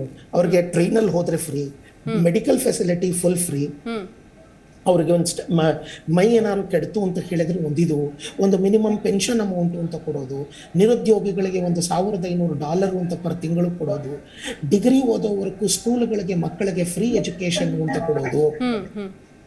ಒಂದು ಏನ್ ಮಾಡ್ತಾ ಇದ್ದಾರೆ ಅಂತ ಹೇಳಿದ್ರೆ ನಿನ್ನ ಹತ್ರ ದುಡ್ಡು ಕಮ್ಮಿ ಇದ್ರೂ ಕೂಡ ನಿನ್ನ ಹತ್ರ ಆದಾಯ ಕಮ್ಮಿ ಇದ್ರೂ ಕೂಡ ನಿನ್ ಹೊಟ್ಟೆ ಬಟ್ಟೆ ಜೀವನ ಕಳ್ಕೊಂಡು ಹೋಗೋದಕ್ಕೆ ನಾನು ನಿನಗೊಂದು ಸೋಷಿಯಲ್ ಭದ್ರತೆ ಕೊಡ್ತೀನಿ ಅನ್ನೋ ಒಂದು ಒಂದು ಅಕೌಂಟಬಿಲಿಟಿ ಇದೆ. ಸರ್ಕಾರ ನಿಮ್ಮ ಹತ್ರ ಜಾಸ್ತಿ ಟ್ಯಾಕ್ಸ್ ತಗೊಳ್ತಾ ಇದೆ. ನಿಜ ನಿಜ ನಿಜ. ಆದ್ರೆ ನಮ್ಮ ಸರ್ಕಾರ ಅದಕ್ಕೂ ನಾನು ಕಾರಣನೂ ಹೇಳ್ತೀನಿ ಆಮೇಲೆ. ಯಾಕಂದ್ರೆ ನಾನು ತಜ್ಞನಾಗಿ ಬಂದು ಬರೀ ನಾನು ಯಾವ ಪಾರ್ಟಿಗೂ ಅಲ್ಲ ನಾನು ಸರಿ ಯಾವ್ದು ಸರಿ ಅದನ್ನ ಹೇಳ್ಬೇಕು. ನಿಜ ನಿಜ ನಿಜ ಎಕ್ಸಾಕ್ಟ್ಲಿ ನಮ್ಮ ಇಂಡಿಯಾಲಿ ಏನಾಗ್ತಾ ಇದೆ ಅಂದ್ರೆ ಇಷ್ಟು ಟ್ಯಾಕ್ಸ್ಗಳನ್ನ ತಗೊಂಡು ಕೂಡ ಎಜುಕೇಶನ್ ಅನ್ನ ಪ್ರೈವೇಟೈಸ್ ಮಾಡ್ತಾ ಇದ್ದೀವಿ ಹೆಲ್ತ್ ಸರ್ ಎಜುಕೇಶನ್ ಹೆಲ್ತ್ ಅನ್ನ ನಾವು ಪ್ರೈವೇಟೈಸ್ ಮಾಡ್ತಾ ಇದ್ದೀವಿ ಎಲ್ಲಿ ಸರ್ಕಾರದ ಪಾತ್ರಗಳ ಬಂದು ಒಂದು ಭದ್ರತೆ ಕೊಡಬೇಕಾಗಿರೋ ಜಾಗದಲ್ಲಿ ನಾವು ಪ್ರೈವೇಟೈಸ್ ಮಾಡಿ ನೀವು ಲಕ್ಷಾಂತರ ರೂಪಾಯಿ ಕೊಡಿ ಅಂತ ಕೇಳಿದ್ರೆ ಎಲ್ಲಿ ಆಗತ್ತೆ ಶ್ರೀ ಸಾಮಾನ್ಯನಿಗೆ? ಹೌದು.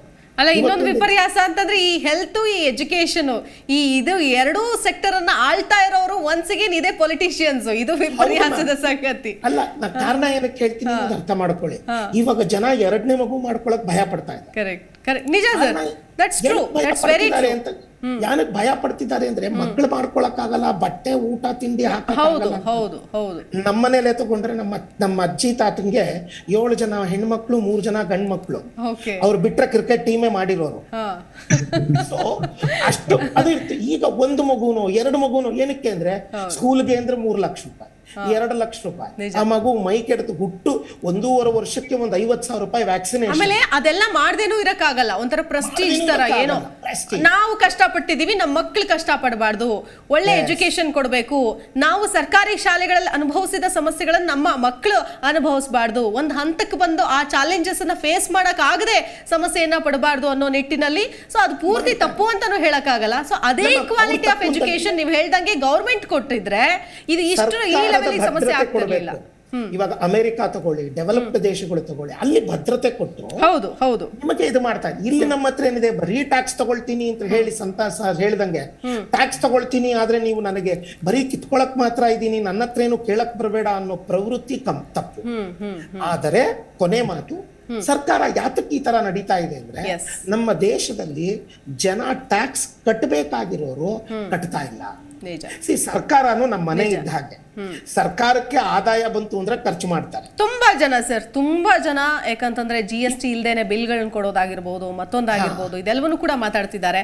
ಆ, ಸಂಪತ್ ಸರ್ ಏನೋ ಹೇಳಬೇಕು ಅಂತ ರೈಸ್ ಮಾಡ್ತಾ ಇದ್ದಾರೆ. ಎಸ್ ಸರ್ ಪ್ಲೀಸ್ ಪ್ಲೀಸ್ ಒಂದು ಇಂಪಾರ್ಟೆಂಟ್ ಪಾಯಿಂಟ್ ಹೇಳಿದ್ರು ಸೋಷಿಯಲ್ ಸೆಕ್ಯೂರಿಟಿ ವಿಷಯ. ಇದು ತುಂಬಾನೇ ಒಳ್ಳೆ ಪಾಯಿಂಟ್ ಯಾಕೆಂದ್ರೆ ಇದು ಎಂ ಎಸ್ ಎಂ ವಿಷಯದಲ್ಲಿ ನೀವು ನೋಡಿ ಈಗ ಎಂ ಎಸ್ ಎಂ ಇಸ್ ಬೆಳೀತಾ ಇದೆ ಅಂತ ನಾವು ಅನ್ಕೊಳ್ತೀವಿ. ಆಕ್ಚುಲಿ ಟ್ಯಾಕ್ಸ್ ಬರುವುದು ಜಾಸ್ತಿ ಜಿ ಎಸ್ ಟಿ ಜಾಸ್ತಿ ಬರುವುದು ಎರಡು ಕಾರಣಕ್ಕೆ. ಒಂದು ದೊಡ್ಡ business ಗಳು ಚೆನ್ನಾಗಿ ನಡೀತಾ ಇದೆ. Big business on very well hmm. ಇನ್ನೊಂದು ಪ್ರೈಸ್ ಇನ್ಕ್ರೀಸ್ ಅಲ್ಲಿ ಟ್ಯಾಕ್ಸ್ ಆಟೋಮ್ಯಾಟಿಕ್ ಇನ್ಕ್ರೀಸ್ ಆಗುತ್ತೆ. ಎರಡು ವಿಷಯದಲ್ಲಿ ಟ್ಯಾಕ್ಸ್ ಹೆಚ್ಚಾಗಿದೆ. ಆದ್ರೆ ಎಂ ಎಸ್ ಎಂ ಇಸ್ ಈಗ ತುಂಬಾನೇ ಕಷ್ಟದಲ್ಲಿ ಇದ್ದಾರೆ. ಅವ್ರ ಕ್ರೆಡಿಟ್ ಸಿಕ್ಕೋದಿಲ್ಲ ಅವ್ರು ಕೊಟ್ಟಿರೋ ಪದಾರ್ಥಗಳಿಗೂ ಪೇಮೆಂಟ್ ಸಿಕ್ಕೋದಿಲ್ಲ. ಇಂಟ್ರೆಸ್ಟ್ ರೇಟ್ ಜಾಸ್ತಿ. ಎಲ್ಲ ಕಾರಣ ಕಾರಣ ಅಂಡ್ ಡಿಸ್ರಪ್ಟಿವ್ ಇನ್ನೋವೇಶನ್ ಈಗ ಮೊದಲು ಏನು ಕೆಲಸಗಳು ಪದಾರ್ಥಗಳು ಸರ್ವಿಸ್ ಬೇಕಾಗಿತ್ತು. ಅದು ಈಗ ಬೇಕಾಗಿಲ್ಲ. ವರ್ಕ್ ಫ್ರಮ್ ಹೋಮ್ ಇಂಥ ರೀತಿಯಲ್ಲಿ ಟೆಲಿಮೆಡಿಸಿನ್ ಯಾ ಯಾರು ಎಲ್ಲೂ ಹೋಗಕ್ಕೆ ನೆಸಿಟಿ ಇಲ್ಲ ಡೆಲಿವರಿ ಅಟ್ ಹೋಮ್. ಇಂಥ ಚೇಂಜಸ್ ಆಗಿರೋದ್ರಿಂದ ಇದು ಅವ್ರಿಗೆ ಕೆಲಸ ಈಗ. ಎಂ ಎಸ್ ಎಂ ಇದು ಕೆಲಸನೇ ಇಲ್ಲ. ಕಾರಿನಲ್ಲಿ ಬಂದಿದ್ದಾರೆ. ಅವ್ರಿಗೆ ಅವರು ಮುಚ್ಚಿದ್ರೆ ಅವರು ಫ್ಯೂಚರ್ ಏನು? ಅವ್ರದ್ದು ಕ್ರೆಡಿಟರ್ಸ್ ಇರ್ತಾರೆ ಕ್ರೆಡಿಟರ್ಸ್ ದುಡ್ಡು ತಗೊಂಡು ಹೊಟ್ಟೋಗ್ಬಿಡ್ತಾರೆ ನಿಜ ನಿಜ ನಿಜ. ಮೈನಸ್ ಅಲ್ಲೇ ಹೋಗ್ತಾರೆ. ಹ್ಮ್ ಹ್ಮ್ ಇವ್ರಿಗೆ ಏನೋ ಪೆನ್ಷನ್ ಸ್ಕೀಮ್ ಇದೆಯಾ? ಎಕ್ಸಿಟ್ ಪಾಲಿಸಿ ಏನು? ರೆಸ್ಪೆಕ್ಟಬಲ್ ಎಕ್ಸಿಟ್ ಪಾಲಿಸಿ ಇದು ವಿಷಯ ಸರ್ಕಾರ ಚಿಂತನೆ ಮಾಡೇ ಇಲ್ಲ. ಎಸ್ ಸರ್ ಇನ್ನೊಂದು ಒಂಬತ್ತು ಸಾವಿರ ರೂಪಾಯಿ ನಾನು ಇದು ಕ್ರೆಡಿಟ್ ಗ್ಯಾರಂಟಿ ಸ್ಕೀಮ್ಗೆ ನಾನು ಕೊಡ್ತೀನಿ ಅಂತ ಒಂದೇ ಒಂದು ಅನೌನ್ಸ್ಮೆಂಟ್ ಮಾಡಿದ್ದಾರೆ ಎಂ ಎಸ್ ಎಂ ವಿಷಯದಲ್ಲಿ. ಬೇರೆ ಏನಿಲ್ಲ ಎಂ ಎಸ್ ಎಂ ಇಗೆ ಎಸ್ ಎಸ್ ಎಕ್ಸಾಕ್ಟ್ಲಿ ಸರ್ ನಾನು ಮಾತಾಡ್ತೀನಿ ಮತ್ತೆ. ಓಕೆ ವಸಂತ್ ಸರ್ ಈಗ ನಾನು ನಾನು ಈಗ ಹಿಂದೆ ಆಗ್ತಾ ಇತ್ತು. ತೆರಿಗೆಯಿಂದ ವಂಚಿತ ಆಗೋದು ಅಥವಾ ಇನ್ನೇನೋ ಕಳ್ತನ ಮಾಡಿಕೊಂಡು ಅಥವಾ ಬೇರೆ ಹಾದಿಯಲ್ಲಿ. ಸೊ ಈಗಲೂ ಕೂಡ ಆ ಪ್ರಕರಣಗಳು ಇದೆ. ಆದರೆ ಅಟ್ಲೀಸ್ಟ್ ಕಡಿಮೆ ಆಗಿದೆ ಅಂತ. ಯಾಕಂತಂದರೆ ಅದಕ್ಕೆ ಫಾರ್ ಬೆಸ್ಟ್ ಎಕ್ಸಾಂಪಲ್ ಅಂತ ನಾವು ಜಿ ಎಸ್ ಟಿ ಕಲೆಕ್ಷನ್ಸ್ ಎಷ್ಟು ಮಟ್ಟಿಗೆ ಇನ್ಕ್ರೀಸ್ ಆಗಿದೆ. ನಮ್ಮ ರಾಜ್ಯ ಆಗಿರ್ಬೋದು ಇಡೀ ದೇಶದ ಮಟ್ಟದಲ್ಲಿ ದಾಖಲೆ ಮಟ್ಟದಲ್ಲಿ ಜಿ ಎಸ್ ಟಿ ಆಗಿದೆ. ಇದೆಲ್ಲದಕ್ಕೂ ಪೂರಕ ಅಂತಂದರೆ ಒನ್ಸ್ ಅಗೇನ್ ನಮ್ಮ ಡಿಜಿಟಲೈಸೇಷನ್ ಕೂಡ ತುಂಬ ಪೂರಕವಾಗಿ ಸಹಾಯ ಮಾಡ್ತಾ ಇದೆ ಅನ್ಸುತ್ತೆ ಏನು ಹೇಳ್ತೀರಿ? ಅಲ್ಲ ಈ ಹೊಸ ಪದ್ಧತಿ ಇದೆ. ಒಂದು ನಾನು ಹೇಳ್ಬೇಕಂದ್ರೆ ನಿನ್ನೆ ಹಣಕಾಸು ಮಂತ್ರಿಗಳು. ಒಂದು ಒಂದು 76% ಡಿಫಾಲ್ಟ್ ಅಂತ ಒಂದು ಆ ಶಬ್ದ ಹೇಳಿ ಹಾಂ ಹಾಂ ಹಾಂ. ಒಂದು ಭೀತಿ ಹುಟ್ಟಿಸ್ಬಿಟ್ಟಿದ್ದಾರೆ ಇದು ಹೆಂಗೆ ಅಂದರೆ ಶಿಲ್ಪ ಅವರೇ ಒಂದು ಗನ್ ಹಿಡ್ದಂಗೆ ನಿಮಗೆ. ನೀವು ಹೊಸ ತೆರಿ ಇದು ತೆರಿಗೆ ಪದ್ಧತಿಗೆ ಹೋಗಿ ಅಲ್ಲಿ- ನೀವು ಟ್ಯಾಕ್ಸ್ ಕಟ್ಟಲೇಬೇಕು ಇಲ್ದಿದ್ರೆ ನಿಜ ನಿಜ. ಸೊ ಅದರಿಂದ ಇದರಿಂದ ಏನಾಗಿದೆ ಅಂದರೆ ನಾ ಹೇಳ್ದಂಗೆ ಮತ್ತೆ ಉಳಿತಾಯ ಮಾಡೋದಕ್ಕೆ ಈಗ ಶಿಸ್ತು ಹೋಗ್ಬಿಡ್ತು ನನಗೆ. ಮತ್ತೆ ಇನ್ನೊಂದು ಸಾಮಾಜಿಕ ಭದ್ರತೆ ಬಗ್ಗೆ ಮಾತಾಡ್ತಾ ಇದ್ದೀವಿ ಈಗ. ಹೌದು ಹೌದು. ಸಾಮಾಜಿಕ ಭದ್ರತೆ ನಮ್ಮ ದೇಶದಲ್ಲಿಲ್ಲ. ಇಲ್ಲ ಪಾಶ್ಚಾತ್ಯ ದೇಶಗಳಲ್ಲಿದೆ ಅಮೆರಿಕದಲ್ಲಿ. ಅಲ್ಲಿ ಸರ್ಕಾರಿ ಶಾಲೆಗಳನ್ನ ಕಳ್ಸೋದೇ ಪ್ರೆಸ್ಟೀಜ್. ಹೌದು, ಈಗ- ಯಾಕಂದ್ರೆ ಅಷ್ಟು ಚೆನ್ನಾಗಿರುತ್ತೆ ಸರ್ಕಾರಿ ಶಾಲೆಗಳು. ಅಲ್ಲ ಸಾಮಾಜಿಕ ಭದ್ರತೆ ಈಗ ನಮ್ಮ ಸರ್ಕಾರ ಕೊಡ್ತಾ ಇಲ್ಲ ಅಂತಾನೆ. ಅದರಿಂದಾನೇ ಒಂದು ಎನ್ ಪಿ ಎಸ್ ಅಂತ ಒಂದು ಸಿಸ್ಟಮ್ ಇಂಟ್ರೊಡ್ಯೂಸ್ ಮಾಡಿದ್ದು. ನ್ಯಾಷನಲ್ ಪೆನ್ಷನ್ ಸಿಸ್ಟಮ್ ಅಂತ. ಇವಾಗ ನೀವು ನ್ಯಾಷನಲ್ ಪೆನ್ಷನ್ ಸಿಸ್ಟಮ್ ಅಲ್ಲಿ ನನಗೇನು ನನಗೆ ರಿಯಾಯಿತಿ ಕೊಡಲಿಲ್ಲ ಅಂದ್ರೆ ಅಥವಾ ವಿನಾಯಿತಿ ಕೊಡಲಿಲ್ಲ ಅಂದ್ರೆ ಇದ್ರ ಸೊ ಈ ಸರ್ಕಾರ ಒಂದು ಬ್ಯಾಕ್ವರ್ಡ್ ಸ್ಟೆಪ್ ಅಂತಾನೆ ಹೇಳ್ಬೋದು. ಹಿಂದೆ ಹೋಗ್ತಾ ಇದೆ ಅಂತ ಮುಂದೆ ಹೋಗ್ತಾ ಇಲ್ಲ. ಸೊ ಇದರಿಂದ ಜನರಿಗೆ ಏನಾಗಬೇಕು? ಈಗ ಅರವತ್ತು ವರ್ಷ ಆದಮೇಲೆ ಹೌದು ಹಿರಿಯ ನಾಗರಿಕರು. ಆಮೇಲೆ ಇನ್ನೊಂದು ಈ ಟ್ಯಾಕ್ಸ್ ಸ್ಲ್ಯಾಬ್ಗೆ ಮತ್ತೊಂದು ವಿಷಯಕ್ಕೆ ಬರೋದಾದ್ರೆ ಈ ಹಿಂದೆ ಮತ್ತೆ ಒಂದು ಸ್ಲ್ಯಾಬ್ ಪ್ರಕಾರ ಏನಿತ್ತು ಅಂತಂದ್ರೆ ಹೆಣ್ಮಕ್ಳಿಗೂ ಕೂಡ ಒಂದಷ್ಟು ಎಕ್ಸೆಂಪ್ಷನ್ಸ್ ಇತ್ತು. ಅಂದ್ರೆ ಇವ್ರಿಗೆ ಎರಡೂವರೆ ಲಕ್ಷ ಇದ್ರೆ ಅವ್ರಿಗೆ ಒಂದು ಮೂರು ಲಕ್ಷದವರೆಗೂ ರಿಯಾಯಿತಿ ಕೊಟ್ಟರು ತದಂತರದಲ್ಲಿ ಅದನ್ನ ಈಕ್ವಲ್ ಅಂತ ಮಾಡಿದ್ರು. ಸೊ ಇದಕ್ಕೆ ನಿಮ್ ಕಾಮೆಂಟ್ ಅಲ್ಲ ಇದು ಒಂದು ಮೂರ್ನಾಲ್ಕು ವರ್ಷದಿಂದ ಇತ್ತು. ಹೌದು ಹೌದು ಇತ್ತು. ಆಮೇಲೆ ತೆಗೆದ್ಬಿಟ್ಟು ಈಗ ಇಬ್ರು ಸಮಾನ ಸಮಾನರು. ಇದ್ರಲ್ಲೂ ಸಮಾನವಾಗಿ ಕಟ್ಲಿ. ಯಾಕೆ ಅಂತ. ಅಲ್ವಾ ಹೇಮಂತ್ ಸರ್? ಎಸ್ ಮ್ಯಾಮ್ ಒಂದೇ ವರ್ಡಲ್ಲಿ ಹೇಳಿ ಸುಮ್ಮನಾಗ್ಬಿಟ್ರಿ ಬೇಡ ಇದ್ರ ಬಗ್ಗೆ ಕಮೆಂಟ್ ಮಾಡೋದು ಅಂತ. ಆಗಲ್ಲ ಏನ್ ಮಾಡ್ತಿದ್ದಾರೆ ಅಂದ್ರೆ ಸರ್ಕಾರ ಎಲ್ಲ ತುಂಬಾ ಇದಕ್ಕೆ ಉತ್ತರ ಕೊಡ್ಬೋದಾ? ಹೇಳಿ ಸರ್ ಹೇಳಿ ಹೇಳಿ ಹೇಳಿ. ಸಿ ಸರ್ಕಾರ ಇವಾಗ ಏನ್ ಮಾಡಿದೆ ಅಂದ್ರೆ ತುಂಬಾ ಆರ್ಟಿಫಿಷಿಯಲ್ ಇಂಟೆಲಿಜೆನ್ಸ್ ಅನ್ನ ಆಟೋಮೆಟಿಕ್ ಎ ಐ ಎಗಳನ್ನ ಇಂಟ್ರೊಡ್ಯೂಸ್ ಮಾಡ್ಬಿಟ್ಟಿದೆ. ಹ್ಮ್ ಏನ್ ಮಾಡ್ತಿದ್ದಾರೆ ಅಂದ್ರೆ ಇವಾಗ ಇವ್ರು ಹೇಳಿದ್ರು ಗೊತ್ತಾ ನಿನ್ನೆ ನಿರ್ಮಲಾ ಸೀತಾರಾಮನ್ ಅವರು ನಾವು ಹದಿನಾರು ದಿನದಲ್ಲಿ ಆರೂವರೆ ಕೋಟಿ ಅಪ್ಲಿಕೇಶನ್ ಅನ್ನ ಪ್ರಾಸೆಸ್ ಮಾಡಿದೀವಿ ಅಂತ. ಅದು ಯಾವುದು ಹ್ಯೂಮನ್ ಇಂದ ಪ್ರಾಸೆಸ್ ಮಾಡಿರೋದಲ್ಲ. ಎಲ್ಲ ಎ ಐ ಮತ್ತೆ ಆರ್ಟಿಫಿಷಿಯಲ್ ಇಂಟೆಲಿಜೆನ್ಸು ಮತ್ತೆ ರೊಬಾಟಿಕ್ಸ್ ಮಾಡ್ತಿರೋದು. ಏನ್ ಮಾಡ್ತಿದ್ದಾರೆ ಅಂದ್ರೆ ನೀವು ಐದು ವರ್ಷದ ನಿಮ್ಮ ಟ್ಯಾಕ್ಸ್ಗಳು ಕಟ್ತಾ ಇರೋ ಪ್ಯಾಟರ್ನ್ಗಳನ್ನ ನೋಡ್ಕೊಂಡ್ ಬರ್ತಾ ಇದೆ. ನಿಮ್ಮ ಹತ್ರದಿಂದ ಆದಾಯ ಕರೆಕ್ಟ್ ಆಗಿ ಬರ್ತಿದೆ last time H R A claim ಮಾಡಿದೀರಾ ಈ ಸಲ ಅದನ್ನೇ ಕ್ಲೇಮ್ ಮಾಡ್ಕೊಂಡ್ ಬರ್ತಿದ್ದೀರಾ ಅಂದ್ರೆ ನಿಮ್ಮನ್ನ ಅವ್ರು ಟಚ್ ಮಾಡಕ್ ಹೋಗಲ್ಲ. ಕಟ್ತಾ ಇರೋ ಆದಾಯ ಕರೆಕ್ಟ್ ಆಗಿ ಕಟ್ಕೊಂಡ್ ಬರ್ತಿದ್ದಾನೆ ಅಂತ ತೋರಿಸ್ತಾರೆ. ಸಡನ್ ಆಗಿ ಏನಾದ್ರು ಇಷ್ಟ ದಿನ ನೀವು ಹೆಚ್ ಆರ್ ಎ ತೋರಿಸಿರಲ್ಲ ಈ ವರ್ಷ ಮಾತ್ರ ನೀವು ಹೆಚ್ ಆರ್ ಅಂತ ಕೇಳ್ಬಿಟ್ಟು ಒಂದೂವರೆ ಲಕ್ಷ ರೂಪಾಯಿ ಡಿಡಕ್ಷನ್ ಮಾಡಿರುತ್ತೆ. ಆಟೋಮೆಟಿಕ್ ಆಗಿ ಕಂಪ್ಯೂಟರ್ ಅದನ್ನ ರೆಡ್ ಫ್ಲಾಗ್ ತೋರಿಸ್ಬಿಟ್ಟು ಒಂದು ಟ್ಯಾಕ್ಸ್ ಡಿಪಾರ್ಟ್ಮೆಂಟ್ಗೆ ಇದು ಏನೋ ನನಗೆ ಅನಾಮಲಿ ಅಂತ ತೋರಿಸ್ತಾ ಇದೆಯಪ್ಪ ಇದನ್ನ ಚೆಕ್ ಮಾಡಿ ನೀವು ಅಂತ ಹೇಳಿ ನೋಟಿಸ್ ಜನರೇಟ್ ಆಗುತ್ತೆ. ಕರೆಕ್ಟ್ ಈ ಎರಡು ವರ್ಷಗಳಿಂದ ಕೋವಿಡ್ ಆದ್ಮೇಲೆ ಏನಾಗಿದೆ ಅಂದ್ರೆ ಕಂಪ್ಯೂಟರ್ ಜನರೇಟೆಡ್ ನೋಟಿಸ್ಗಳು ಪ್ರತಿಯೊಬ್ಬರಿಗೂ ಬರ್ದಕ್ ಶುರುವಾಗಿದೆ. ಇವಾಗ ಏನಾಗ್ತಾ ಇದೆ? ಜನಕ್ಕೂ ಗೊತ್ತು ಅದು ತಪ್ಪು ಮಾಡಿರೋರು ಅಂತ. ಆ ನೋಟಿಸ್ಗೆ ರಿಪ್ಲೈ ಮಾಡೋ ಬದಲು ಬಾಯಿ ಮುಚ್ಕೊಂಡು ದುಡ್ಡು ಕಟ್ಬಿಡೋಣಪ್ಪ ಅಂತ ಕಟ್ತಾ ಇದ್ದಾರೆ. ನೆಕ್ಸ್ಟ್ ವರ್ಷ ನನಗೆ ನೋಟಿಸ್ ಬಂತಲ್ಲಪ್ಪ ಇನ್ಮೇಲಿಂದ ಹೆಚ್ಚಾರಿಯ ತೋರಿಸೋದು ಬೇಡ ಅಂತ ಹೇಳ್ಬಿಟ್ಟು ಹೆಚ್ಚಾರಿಯ ತೋರಿಸ್ತೀರಾ ದುಡ್ಡು ಕಟ್ಟಕ್ ಶುರು ಮಾಡ್ತಿದ್ದಾರೆ. ಹೌದು ಹೌದು ಇದು ಏನಂದ್ರೆ ನಮ್ಮ ಏನಂತಾರೆ ನಮ್ಮ ವ್ಯವಹಾರ ಎಂಪ್ಲಾಯೀಸ್ ಈ ಆಂಟ್ರಪ್ರಿನರ್ಗಳಿಗೆ ಯಾವ ತರ ಚೆಕ್ ಮಾಡ್ತಾ ಇದ್ದಾರೆ ಅದನ್ನ ಸರ್ಕಾರ ಬಾಯ್ ಬಿಡ್ತಿಲ್ಲ ಬಟ್ ನಿಜ ಏನಾಗ್ತಿದೆ ಹೇಳ್ತೀನಿ ಕೇಳಿ ನಮ್ಮ ಗೂಗಲ್ ಪೇ ಮತ್ತೆ ಇದ್ರ ಟ್ಯಾಕ್ಸ್ ಪೇಮೆಂಟ್ಗಳು ಏನಾಗ್ತಾ ಇದೆ ಸರ್ಕಾರ ನಾನು ಏನು ಟ್ಯಾಕ್ಸ್ ಮಾಡಲ್ಲ ಅದರಲ್ಲಿ ನೀವು ವ್ಯವಹಾರ ಮಾಡ್ಕೊಳ್ಳಿ ಅಂತ ಬಿಟ್ಬಿಟ್ಟಿದ್ದಾರೆ. ಬಿಟ್ಟಿದ್ದಾರೆ ಈಗ ಸದ್ಯಕ್ಕೆ ಬಿಟ್ಟಿದ್ದಾರೆ. ಬಿಟ್ಟು ನೋಡೋದು ಅಂತ ಹೇಳ್ತಾರಲ್ಲ ಬಿಟ್ಟು ಹಿಡಿಯೋದು ಅಂತಾರಲ್ಲ ಅದಾಗತ್ತೆ. ಈಗಾಗಲೇ ಒಂದ್ ಎರಡು ಮೂರು ವರ್ಷ ಆಗಿದೆ. ಹೌದು ಇನ್ನೊಂದ್ ಎರಡು ವರ್ಷ ಬಿಡ್ತಾರೆ. ನಿಜ ನಿಜ. ಬಿಟ್ಟಾದ್ಮೇಲೆ ಸರ್ಕಾರ ಒಂದು ದಿನ ನೋಟಿಸ್ ಕಳಿಸ್ತಾರೆ. ನೋಡಪ್ಪ ನಿಂದು ಆನ್ಲೈನ್ ಪೇಮೆಂಟೇ ನಿಂದು ಐವತ್ತು ಲಕ್ಷ ರೂಪಾಯಿ ಟ್ರಾನ್ಸಾಕ್ಷನ್ ತೋರಿಸ್ತಾ ಇದೆಯಾ? ಆದ್ರೆ ನಿನ್ನ ಬುಕ್ಸ್ ಆಫ್ ಅಕೌಂಟ್ಸ್ ಅಲ್ಲಿ ನೀನ್ ತೋರಿಸ್ತಾ ಇರೋದೇನು ಅಂದ್ರೆ ಐವತ್ತೇ ಲಕ್ಷನೋ ನಲವತ್ತು ಲಕ್ಷ ಅಂತ ತೋರಿಸ್ತಿದ್ಯಾ? ಹಾಗಂದ್ರೆ ನೀನು ಆನ್ ಆಫ್ಲೈನ್ ಬಿಸ್ನೆಸ್ನೇ ಮಾಡಿಲ್ವಾ? ನಿನಗೆ ನಾನು ನೋಟಿಸ್ ಕೊಡ್ತೀನಿ ನಿಂದು ಮೆಟೀರಿಯಲ್ ಎಷ್ಟು ತಗೊಂಡ್ಬಂದಿದ್ಯಾ ಇನ್ವಾಯ್ಸ್ ಎಷ್ಟು ತಗೊಂಡ್ಬಂದಿದ್ಯಾ ಬಾಪ್ಪ ನನ್ನ ಜೊತೆ ಅಂತ ಬರ್ದು ಕರೀತಾರೆ ಇದು ಇಲ್ಲಿಗೆ ಬರೋದಿಲ್ಲ ಮೇಡಮ್ ನೆಕ್ಸ್ಟ್ ಎಲ್ಲಿಗೆ ಬರುತ್ತೆ ಅಂತ ಹೇಳ್ತೀನಿ ಕೇಳಿ. ನಾನು ಐವತ್ತು ಲಕ್ಷ ರೂಪಾಯಿ ಟ್ರಾನ್ಸಾಕ್ಷನ್ ಮಾಡಿದೀನಿ ಅಂದ್ರೆ ಐವತ್ತು ಲಕ್ಷ ರೂಪಾಯಿನಲ್ಲಿ ನನಗೆ ಇನ್ಕಮ್ ಬಂದಿರುತ್ತೆ ತಾನೆ? ಹೌದು ಹೌದು. ಆ ಇನ್ಕಮ್ಗೆ ನೀನ್ ಇನ್ಕಮ್ ಟ್ಯಾಕ್ಸ್ ಕಟ್ಟಿದೀಯ ಅಂತ ಚೆಕ್ ಮಾಡ್ತಾರೆ ನಿನ್ನ exactly so exactly it is a double boomerang ನಿಮಗೆ ಸೊ ಎರಡೂ ಕಡೆ ನಿಮ್ಮನ್ನ ಹಿಡಿದು ಈಗಲ್ದೆ ಇದ್ರು ಇನ್ನು ಐದರಿಂದ ಆರು ವರ್ಷಕ್ಕೆ ನಿಮ್ಮನ್ನ ಎಲ್ಲರೂ ಟ್ಯಾಕ್ಸ್ ಗಳನ್ನ ಕಟ್ಟೋದಕ್ಕೆ ಮಾಡ್ತಾರೆ ಹೌದು, ಟ್ಯಾಕ್ಸ್ಗಳು ಜಾಸ್ತಿ ಜಾಸ್ತಿ ಜನ ಕಟ್ಟದಷ್ಟು ಸ- ಈ ಟ್ಯಾಕ್ಸ್ ಲ್ಯಾಬ್ಗಳು ಕಮ್ಮಿ ಕಮ್ಮಿ ಆಗ್ತಾವ ಹೋಗ್ತವೆ ಹ್ಮ್ ಹ್ಮ್ ಹ್ಮ್ ಹ್ಮ್. ಅಷ್ಟೇ ಮ್ಯಾಮ್. ನಿಜ. Yes yes yes Sampath Raman sir ಈಗ ಎಸ್ ಹೇಳಿ ಹೇಳಿ ಸರ್ ಹೇಳಿ ಸರ್ ಈಗ ಒಂದು ವಿಚಾರ ಏನು ಅಂತಂದ್ರೆ ಟ್ಯಾಕ್ಸು ಅಥವಾ ನಾವೇನು ಎಕ್ಸಾಮ್ಷನ್ಸ್ ಕೇಳ್ತಾ ಇದ್ದೀವಿ ಇದೆಲ್ಲವೂ ಕೂಡ ಮಾತಾಡಿದ್ವಿ. ಇನ್ನು ಒಂದು ಹಂತದಲ್ಲಿ ಎಲ್ರಿಗೂ ಒಂದು ನಿರೀಕ್ಷೆ ಇರುತ್ತೆ. ಸೊ ಈ ಸ್ಲ್ಯಾಬು ಹೆಚ್ಚು ಕಡಿಮೆ ಏನೇ ಆದರೂ ಕೂಡ ಒಂದು ಸರ್ಟೈನ್ ನಮ್ಮ ಒಂದು ಏನು ಲೈಫ್ ಸ್ಟೈಲ್ ಚೇಂಜ್ ಆಗಿದೆ ಬದಲಾಗಿದೆ ಅಥವಾ ನಾವು ಒಂದು ಈಗ ಟ್ಯಾ ದುಡ್ಡನ್ನು ಸ್ಯಾಲ್ರಿಯನ್ನು ತಗೊಳ್ಳೋ ಟೈಮಲ್ಲೇ ಟ್ಯಾಕ್ಸ್ ಕಟ್ಬಿಟ್ಟಿರ್ತೀವಿ. ಅದಾದಮೇಲೆ ಅದರಿಂದ ಉಳಿದಲ್ಲಿ ಬರುವಂತಹ ದುಡ್ಡೇನಿದೆ ದುಡ್ಡೇನಿದೆಯಲ್ಲ ಅದು ಆದಾಯ ಅನ್ಕೋಬೇಕು. ಸೊ ಅದರಲ್ಲಿ ಏನೇ ವಸ್ತುಗಳು ತಗೊಂಡ್ರು ಮತ್ತೆ ಅಲ್ಲೂ ನಾವು ಟ್ಯಾಕ್ಸ್ ಕೊಟ್ಟೆ ಕೊಡ್ತೀವಿ. ಜಿ ಎಸ್ ಟಿ ಆಗಿರೋ ಅಂದ್ರೆ ಇಂಡೈರೆಕ್ಟ್ ಟ್ಯಾಕ್ಸಸ್ ಆಗಿರ್ಬೋದು. ಒಂದು ವೆಹಿಕಲ್ ತಗೊಂಡ್ರೆ ಮತ್ತೆ ಅಲ್ಲಿ ರೋಡ್ ಟ್ಯಾಕ್ಸ್ ಕಟ್ತೀವಿ ಮತ್ತೆ ಅಲ್ಲಿ ಇನ್ಶೂರೆನ್ಸ್ ತಗೊಳ್ತೀವಿ ಅಲ್ಲಿ ಮತ್ತೆ ಬೇರೆ ಬೇರೆ ಸೇಲ್ಸ್ ಟ್ಯಾಕ್ಸ್ ಮತ್ತೊಂದು ಮಗದೊಂದು ಇದ್ದೇ ಇರುತ್ತೆ. ಅಂದರೆ ಈಗ ಟ್ಯಾಕ್ಸ್ ಕಟ್ಟದವ್ರಿಗೆ ನಾನು ಹೇಳದ್ನಲ್ಲ ಒಂದಷ್ಟು ಎಕ್ಸಮ್ಷನ್ಸ್ ಕೊಡಬಹುದು ಅನ್ನೋದಾದ್ರೆ ಯಾವ್ಯಾವ ವಲಯಗಳಲ್ಲಿ ಯಾವ ತರ ಕೊಡಬಹುದು ಅಂತ ಸರ್. ಒಂದ್ ಒಂಚೂರು ಹೇಳೋದಾದ್ರೆ. ಎಕ್ಸಮ್ಷನ್ಸ್ ಈಗ ಬೇಡ ಅಂತಾನೆ ಡಿಸೈಡ್ ಮಾಡಿದ್ದಾರೆ. ತಿರ್ಗಾ ಕೊಡುವುದು ಎಲ್ಲಿ ಬರುತ್ತೆ? ಪ್ರಶ್ನೆ ಎಲ್ಲಿ ಬರುತ್ತೆ? ಎಕ್ಸಮ್ಷನ್ಸ್ ಇರಬಾರ್ದು. ಲೀಸ್ಟ್ ಓಕೆ ಬಟ್ ಈ ಪೆನ್ಷನ್ ಸ್ಕೀಮ್ ಎಲ್ಲ ಬೇಕು. ಹಾ ಹೌದು ಹೌದು. ನಿಜ ನಿಜ. ಟ್ಯಾಕ್ಸ್ ರೇಟ್ ಕಡಿಮೆ ಆಗ್ಬೇಕು ಅಷ್ಟೇ. ಈಗ ಆಲ್ರೆಡಿ ಮಾಡಿದ್ದಾರೆ ಸಿಕ್ಕಾಪಟ್ಟೆ ಕಡಿಮೆ ಮಾಡಿದ್ದಾರೆ. ಅದರಿಂದ ಇನ್ನು ಎಷ್ಟು ರೆಡ್ಯೂಸ್ ಮಾಡಬಹುದು ಅಷ್ಟು ರೆಡ್ಯೂಸ್ ಮಾಡಬೇಕು. ಇನ್ನೊಂದು ಮುಂದಕ್ಕೆ ನಾವು ವಿಚಾರ ಮಾಡೋದು ನಾನು ಪುನಃ ಪುನಃ ಹೇಳ್ತಾ ಇರ್ತೇನಲ್ವಾ? ಹೌದು ಒಂದು ಈ ಟ್ಯಾಕ್ಸ್ ರೇಟ್ ಇದಕ್ಕೆ ಎಕ್ಸಾಮ್ಷನ್ ಅದಕ್ಕೆ ಎಕ್ಸಾಮ್ಷನ್ ಇದೆಲ್ಲ ಬಿಟ್ಬಿಟ್ಟು ಇನ್ಕಮ್ ಟ್ಯಾಕ್ಸ್ ತಗೊಳಲ್ಲ. ಟ್ರಾನ್ಸಾಕ್ಷನ್ ಟ್ಯಾಕ್ಸ್ ತಗೊಳ್ತೀವಿ ನೀವು ಏನೇನು ಖರೀದಿ ಮಾಡ್ತೀರಿ ಅದ್ರ ಆಟೋಮ್ಯಾಟಿಕ್ ಹಾಫ್ ಪರ್ಸೆಂಟ್ ತಗೊಂಡ್ಬಿಡ್ತೀನಿ ನಾನು. ಎಂತ ನೀವು ಹೋದ್ರೆ ಇನ್ಕಮ್ ಇಟ್ಟನೆ ಫೈಲ್ ಮಾಡಕ್ಕೆ ಪ್ರಶ್ನೆ ಬರಲ್ಲ. ಅಲ್ವಾ? Correct sir is the best way ಖರ್ಚೆ ಮಾಡದೇ ಇದ್ರೆ? ಖರ್ಚೆ ಖರ್ಚೆ ಆಗತ್ತಲ್ವಾ? ಖರ್ಚೆ ಮಾಡಲ್ಲ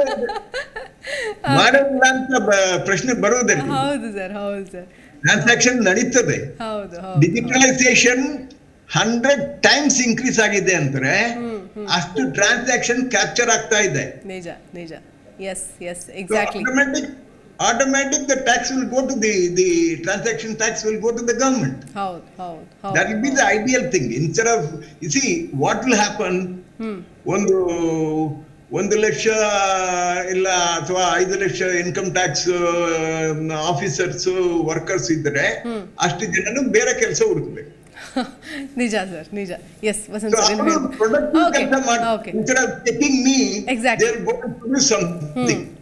yes sir yes sir yes ಒಂದು ವಸಂತ್ ಸರ್ ಈ ಏನು ಅಂಶನ ಹೇಳ್ಬೋದು? ಗಮನಿಸಿ. ಹಾ ಹಾ. ತೊಂಬತ್ನಾಲ್ಕು ಶೇಕಡ ತೊಂಬತ್ನಾಲ್ಕರಷ್ಟು ಜನ ತೆರಿಗೆ ಕಟ್ತಾ ಇಲ್ಲ. ನಿಜ ನಿಜ. ಬರೀ ಶೇಕಡ ಆರರಷ್ಟು ಮಾತ್ರ ತೆರಿಗೆ ಕಟ್ತಾ ಇದೆ ಸೊ ಆದ್ರಿಂದ ನಮ್ದು ಒಂದು ಏನು ಬೇಡಿಕೆ ಇತ್ತು ಇದು ಒಂದು ರೀಸನಬಲ್ ಬೇಡಿಕೆ ಅಂತ ನಾನು ಹೇಳ್ತೀನಿ ಸೊ ನೀವು ಅಟ್ಲೀಸ್ಟ್ ಅಂದರೆ ನೀವು ಟ್ಯಾಕ್ಸ್ ಇದ್ರಲ್ಲಿ ಕಡಿಮೆ ಅಂತೂ ಮಾಡಲಿಲ್ಲ. ಹಳೆ ಪದ್ಧತಿಲಿ ಏನಿದೆಯೋ ಅದನ್ನು ನೀವು ನನಗೆ ಕಂಟಿನ್ಯೂ ಮಾಡೋ ರಿಟೈನ್ ಮಾಡೋಕ್ಕೆ ಬಿಡಬೇಕಾಯ್ತು. Yes exactly very very nice ಹೌದು. ಎಸ್ ನಾನು ಒಂದು ಅಂತಿಮ ಹಂತಕ್ಕೆ ಬರ್ತೀನಿ ಸರ್ ಈಗ ಜನರು ಇದರ ಗೊತ್ತಿಲ್ಲದೆ ಇರೋರು ಒಂದು ಈ ಹೊಸ ಪದ್ಧತಿಗೆ ಬಂದು ಒಂದಷ್ಟು ಲಾಭವನ್ನು ಪಡೆದುಕೊಳ್ಬೇಕು. ಬೇಕಾದ ಇನ್ನೊಂದಷ್ಟು ಈಗ ಗೂಗಲ್ ತೆಗೆದ್ರೆ ಬೇಕಾದಷ್ಟು ಡೀಟೇಲ್ಸ್ ಅಲ್ಲೇ ಸಿಕ್ಬಿಡುತ್ತೆ ಅವರಿಗೆ. ಬಟ್ ಅದೆಲ್ಲವೂ ಕೂಡ ಅಕ್ಯುರೇಟ್ ಆಗಿರುತ್ತೆ ಅಂತಲೂ ಹೇಳೋಕ್ಕಾಗಲ್ಲ. ಒಂದು ಅಂತಿಮ ಹಂತಕ್ಕೆ ಬರೋದಾದರೆ ಈ ಟ್ಯಾಕ್ಸ್ ಸ್ಲ್ಯಾಬ್ ಮುಂದಿನ ಒಂದು ವರ್ಷನೋ ಎರಡು ವರ್ಷ ಎರಡು ವರ್ಷ ಅಂದ್ಕೊಳ್ಳೋಣ ಯಾಕಂತಂದರೆ ಮುಂದಿನ ಒಂದು ಇಂಟರಿಮ್ ಬಜೆಟು ಅದ್ರ ನೆಕ್ಸ್ಟ್ ಬಜೆಟೇ ಮತ್ತೆ ನಮಗೆ ಪೂರ್ಣ ಪ್ರಮಾಣದ ಬಜೆಟ್ ಬರೋದು. ಸೊ ಅಲ್ಲಿವರೆಗೂ ಬಹುಶಃ ಈ ಒಂದು ಸಿಚುವೇಶನ್ಸ್ ಕಂಟಿನ್ಯೂ ಆಗೋ ಎಲ್ಲ ಸಾಧ್ಯತೆಗಳು ಕೂಡ ಇದೆ. ಸೊ ಫೈನಲ್ ಆಗಿ ಹೇಳೋದಾದ್ರೆ ಆ, ಸರ್ ಏನ್ ಹೇಳ್ತೀರಿ? ಫೈನಲ್ ಆಗಿ ಈ ಬಜೆಟ್ ಅಂತೂ ಒಳ್ಳೆ budget see the capital expenditure has been increase to the highest extent okay two thousand ಫೋರ್ಟೀನ್ನಿಂದ ಇದುವರೆಗೆ the important given to capital expenditure is very high which means instead of spending only on social security only on wasteful uh, areas. Okay okay Capital creation, formation in in terms of roads, airport, seaport, hmm hmm ಇದು ಜಾಸ್ತಿ ಆಗಿದೆ. Okay okay exact ಇದ್ರ ಮೇಲೆ ಇದರ ಮೇಲೆ ಏನು budget ಮಾಡಿದಾರೋ ಹತ್ತು lakh crore it's a great thing yes sir yes sir let's wait and see ಎಷ್ಟೆಲ್ಲ ಜಾಬ್ಸ್ ಆಗಿರ್ಬೋದು ಮತ್ತೊಂದು ಆಗಿರ್ಬೋದು ಹೆಚ್ಚಳ ಆಗತ್ತೆ ಅಂತ ಹೇಮಂತ್ ಸರ್ ಫೈನಲ್ ಆಗಿ ಏನು ಹೇಳ್ತೀರಿ? ಮ್ಯಾಮ್ ಕಷ್ಟನೋ ಸುಖನೋ ಗೊತ್ತಿಲ್ಲ. ಹೇಗೆ ನಿಮಗೆ ಸಂಬಳ ಗ್ಯಾಪ್ ತಿಂಗಳ ತಿಂಗಳ ಬರಲೇಬೇಕು ಅಂತ ನಾವುಗಳೆಲ್ಲ ಆಸೆ ಪಡ್ತೀವೋ ಸರ್ಕಾರಕ್ಕೂ ಜಾಸ್ತಿ ಜಾಸ್ತಿ ಟ್ಯಾಕ್ಸ್ ಬೇಕು ಅಂತ ಆಸೆ ಪಡ್ತಾರೆ. ನಿಜ ನಿಜ ನಿಜ. ಓಕೆ? ಇದರ ಮಧ್ಯದಲ್ಲಿ ಸರ್ಕಾರ ಒಂದು ಸ್ವಲ್ಪ ನಾನು ಜನರಿಗೆ ಇಷ್ಟೊಂದು ಟ್ಯಾಕ್ಸ್? ತಗೊಳ್ತೀನಲ್ಲ ಆದ್ರೆ ನಾನು ಏನ್ ಕೊಡ್ತಾ ಇದ್ದೀನಿ ಅದವರಿಗೆ ಬೇಕಾಗಿರೋದನ್ನ ನಾನು ಕೊಡ್ತಾ ಇದ್ದೀನಾ ಅನ್ನೋದು ಒಂದು ಆತ್ಮವಿಮರ್ಶನೆ ಮಾಡ್ಕೋಬೇಕಾಗಿರೋದು ತುಂಬಾ ಮುಖ್ಯ. ಹೌದು. ಯಾಕೆಂದ್ರೆ ಯಾರಿಗೋ ನಾನು ಈ ಭಾಗ್ಯ ಕೊಟ್ಟೆ ನಾನು ಟಿವಿ ಕೊಟ್ಟೆ ಜನಕ್ಕೆ ಕೊಟ್ಟೆ. ಕೊಟ್ಟೆ. ಇದು ಜನಕ್ಕೆ ಬೇಕಾಗಿಲ್ಲ. ಜನಕ್ಕೆ ಬೇಕಾಗಿರೋದು ಒಂದು ಸಸ್ಟೆನೆನ್ಸ್ ಗ್ರೋತ್ ಒಂದು ಚೆನ್ನಾಗಿ ಬೆಳೆಯೋದು ಬೇಕಾಗಿರೋ ಸೌಲಭ್ಯಗಳು ಎಜುಕೇಶನ್ ಫ್ರೀ ಮಾಡಿ ಮೆಡಿಕಲ್ ಆಸ್ಪತ್ರೆಗಳನ್ನ ಸರ್ಕಾರಿ ಆಸ್ಪತ್ರೆಗಳನ್ನ ಮಾಡರ್ನೈಸ್ ಮಾಡ್ಲಿ. ಮತ್ತೆ ಬೇಕಾದ ಸೋಷಿಯಲ್ ಸೆಕ್ಯೂರಿಟೀಸ್ ಟ್ರಾನ್ಸ್ಪೋರ್ಟ್ಗಳಿಗೆ ವಯಸ್ಸಾದವರಿಗೆ ಫ್ರೀ ಆಗಿ ಟ್ರಾನ್ಸ್ಪೋರ್ಟೇಷನ್ ಕೊಡ್ಲಿ. ಸಬ್ಸಿಡಿ ರೇಟ್ಗಳಲ್ಲಿ ಟ್ರೈನ್ ಫೆಸಿಲಿಟಿ ಕೊಡ್ಲಿ. ಇಂಥದನ್ನು ಕೊಟ್ಟಾಗ ಏನಾಗುತ್ತೆ? ಈಗ ನೋಡಿ ಜ ಸೀನಿಯರ್ ಸಿಟಿಸನ್ಗಳಿಗೆ ಬರೋ ಬಡ್ಡಿ ಕಮ್ಮಿ ಮಾಡಿದ್ದಾರೆ. ಈಗ ಅವ್ರಿಗೆ ಕೊಡ್ತಾ ಇದ್ದಿದ್ದ ದುಡ್ಡು ಇಟ್ಕೊಂಡಿರೋ ಒಂದ್ ಎಂಟು ಲಕ್ಷ ಹತ್ತು ಲಕ್ಷ ರೂಪಾಯಿಗೆ ಬರೋ ಬಡ್ಡಿನಲ್ಲಿ ಅವ್ರು ಏನು ಜೀವನ ಕಳಿಯಕ್ಕಾಗಲ್ಲ.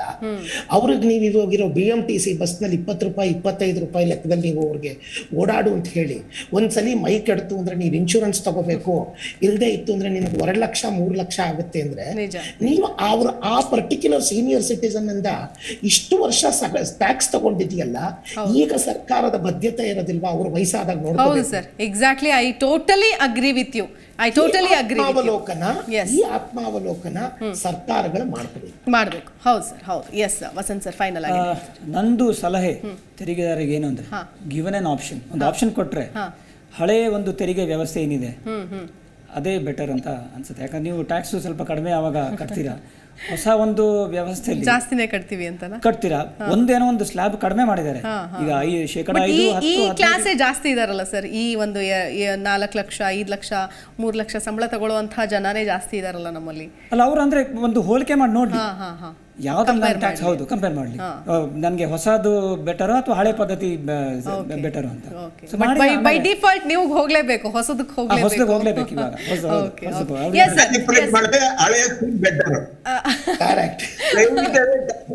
ಅಂದ್ರೆ ಹೊಸ scheme better yes sir thank you thank you Sampath Raman sir yes sir thank you so much Sampath Raman sir Hemant sir Vasant Hegde sir ಮೂರು ಜನಕ್ಕೂ ಕೂಡ ಧನ್ಯವಾದಗಳು ಇವತ್ತಿನ ಚರ್ಚೆಯಲ್ಲಿ ಭಾಗಿಯಾಗಿದ್ದಕ್ಕಾಗಿ. ಎಸ್ ವೀಕ್ಷಕರೇ ಈಗಾಗಲೇ ಟ್ಯಾಕ್ಸ್ ಸ್ಲ್ಯಾಬ್ ಅನೌನ್ಸ್ ಆಗಿ ಆಗಿದೆ. ಒಂದಷ್ಟು ಗೊಂದಲಗಳಿತ್ತು. ಆ ಗೊಂದಲಗಳಿಗೆ ಒಂದಷ್ಟು ವಿಷಯಗಳನ್ನ ಅಂದ್ರೆ ಚರ್ಚೆ ಮಾಡೋ ಮೂಲಕ ನಿಮ್ಮ ಮುಂದೆ ಇಟ್ಟು ಆ ಪರಿಹಾರ ಆಗಿದೆ ಅಂತ ಭಾವಿಸ್ತೀನಿ. ಸೊ ಈ ವಿಶೇಷ ಚರ್ಚೆ ಮುಗಿಸ್ತಾ ಇದ್ದೀನಿ. ನಮಸ್ಕಾರ.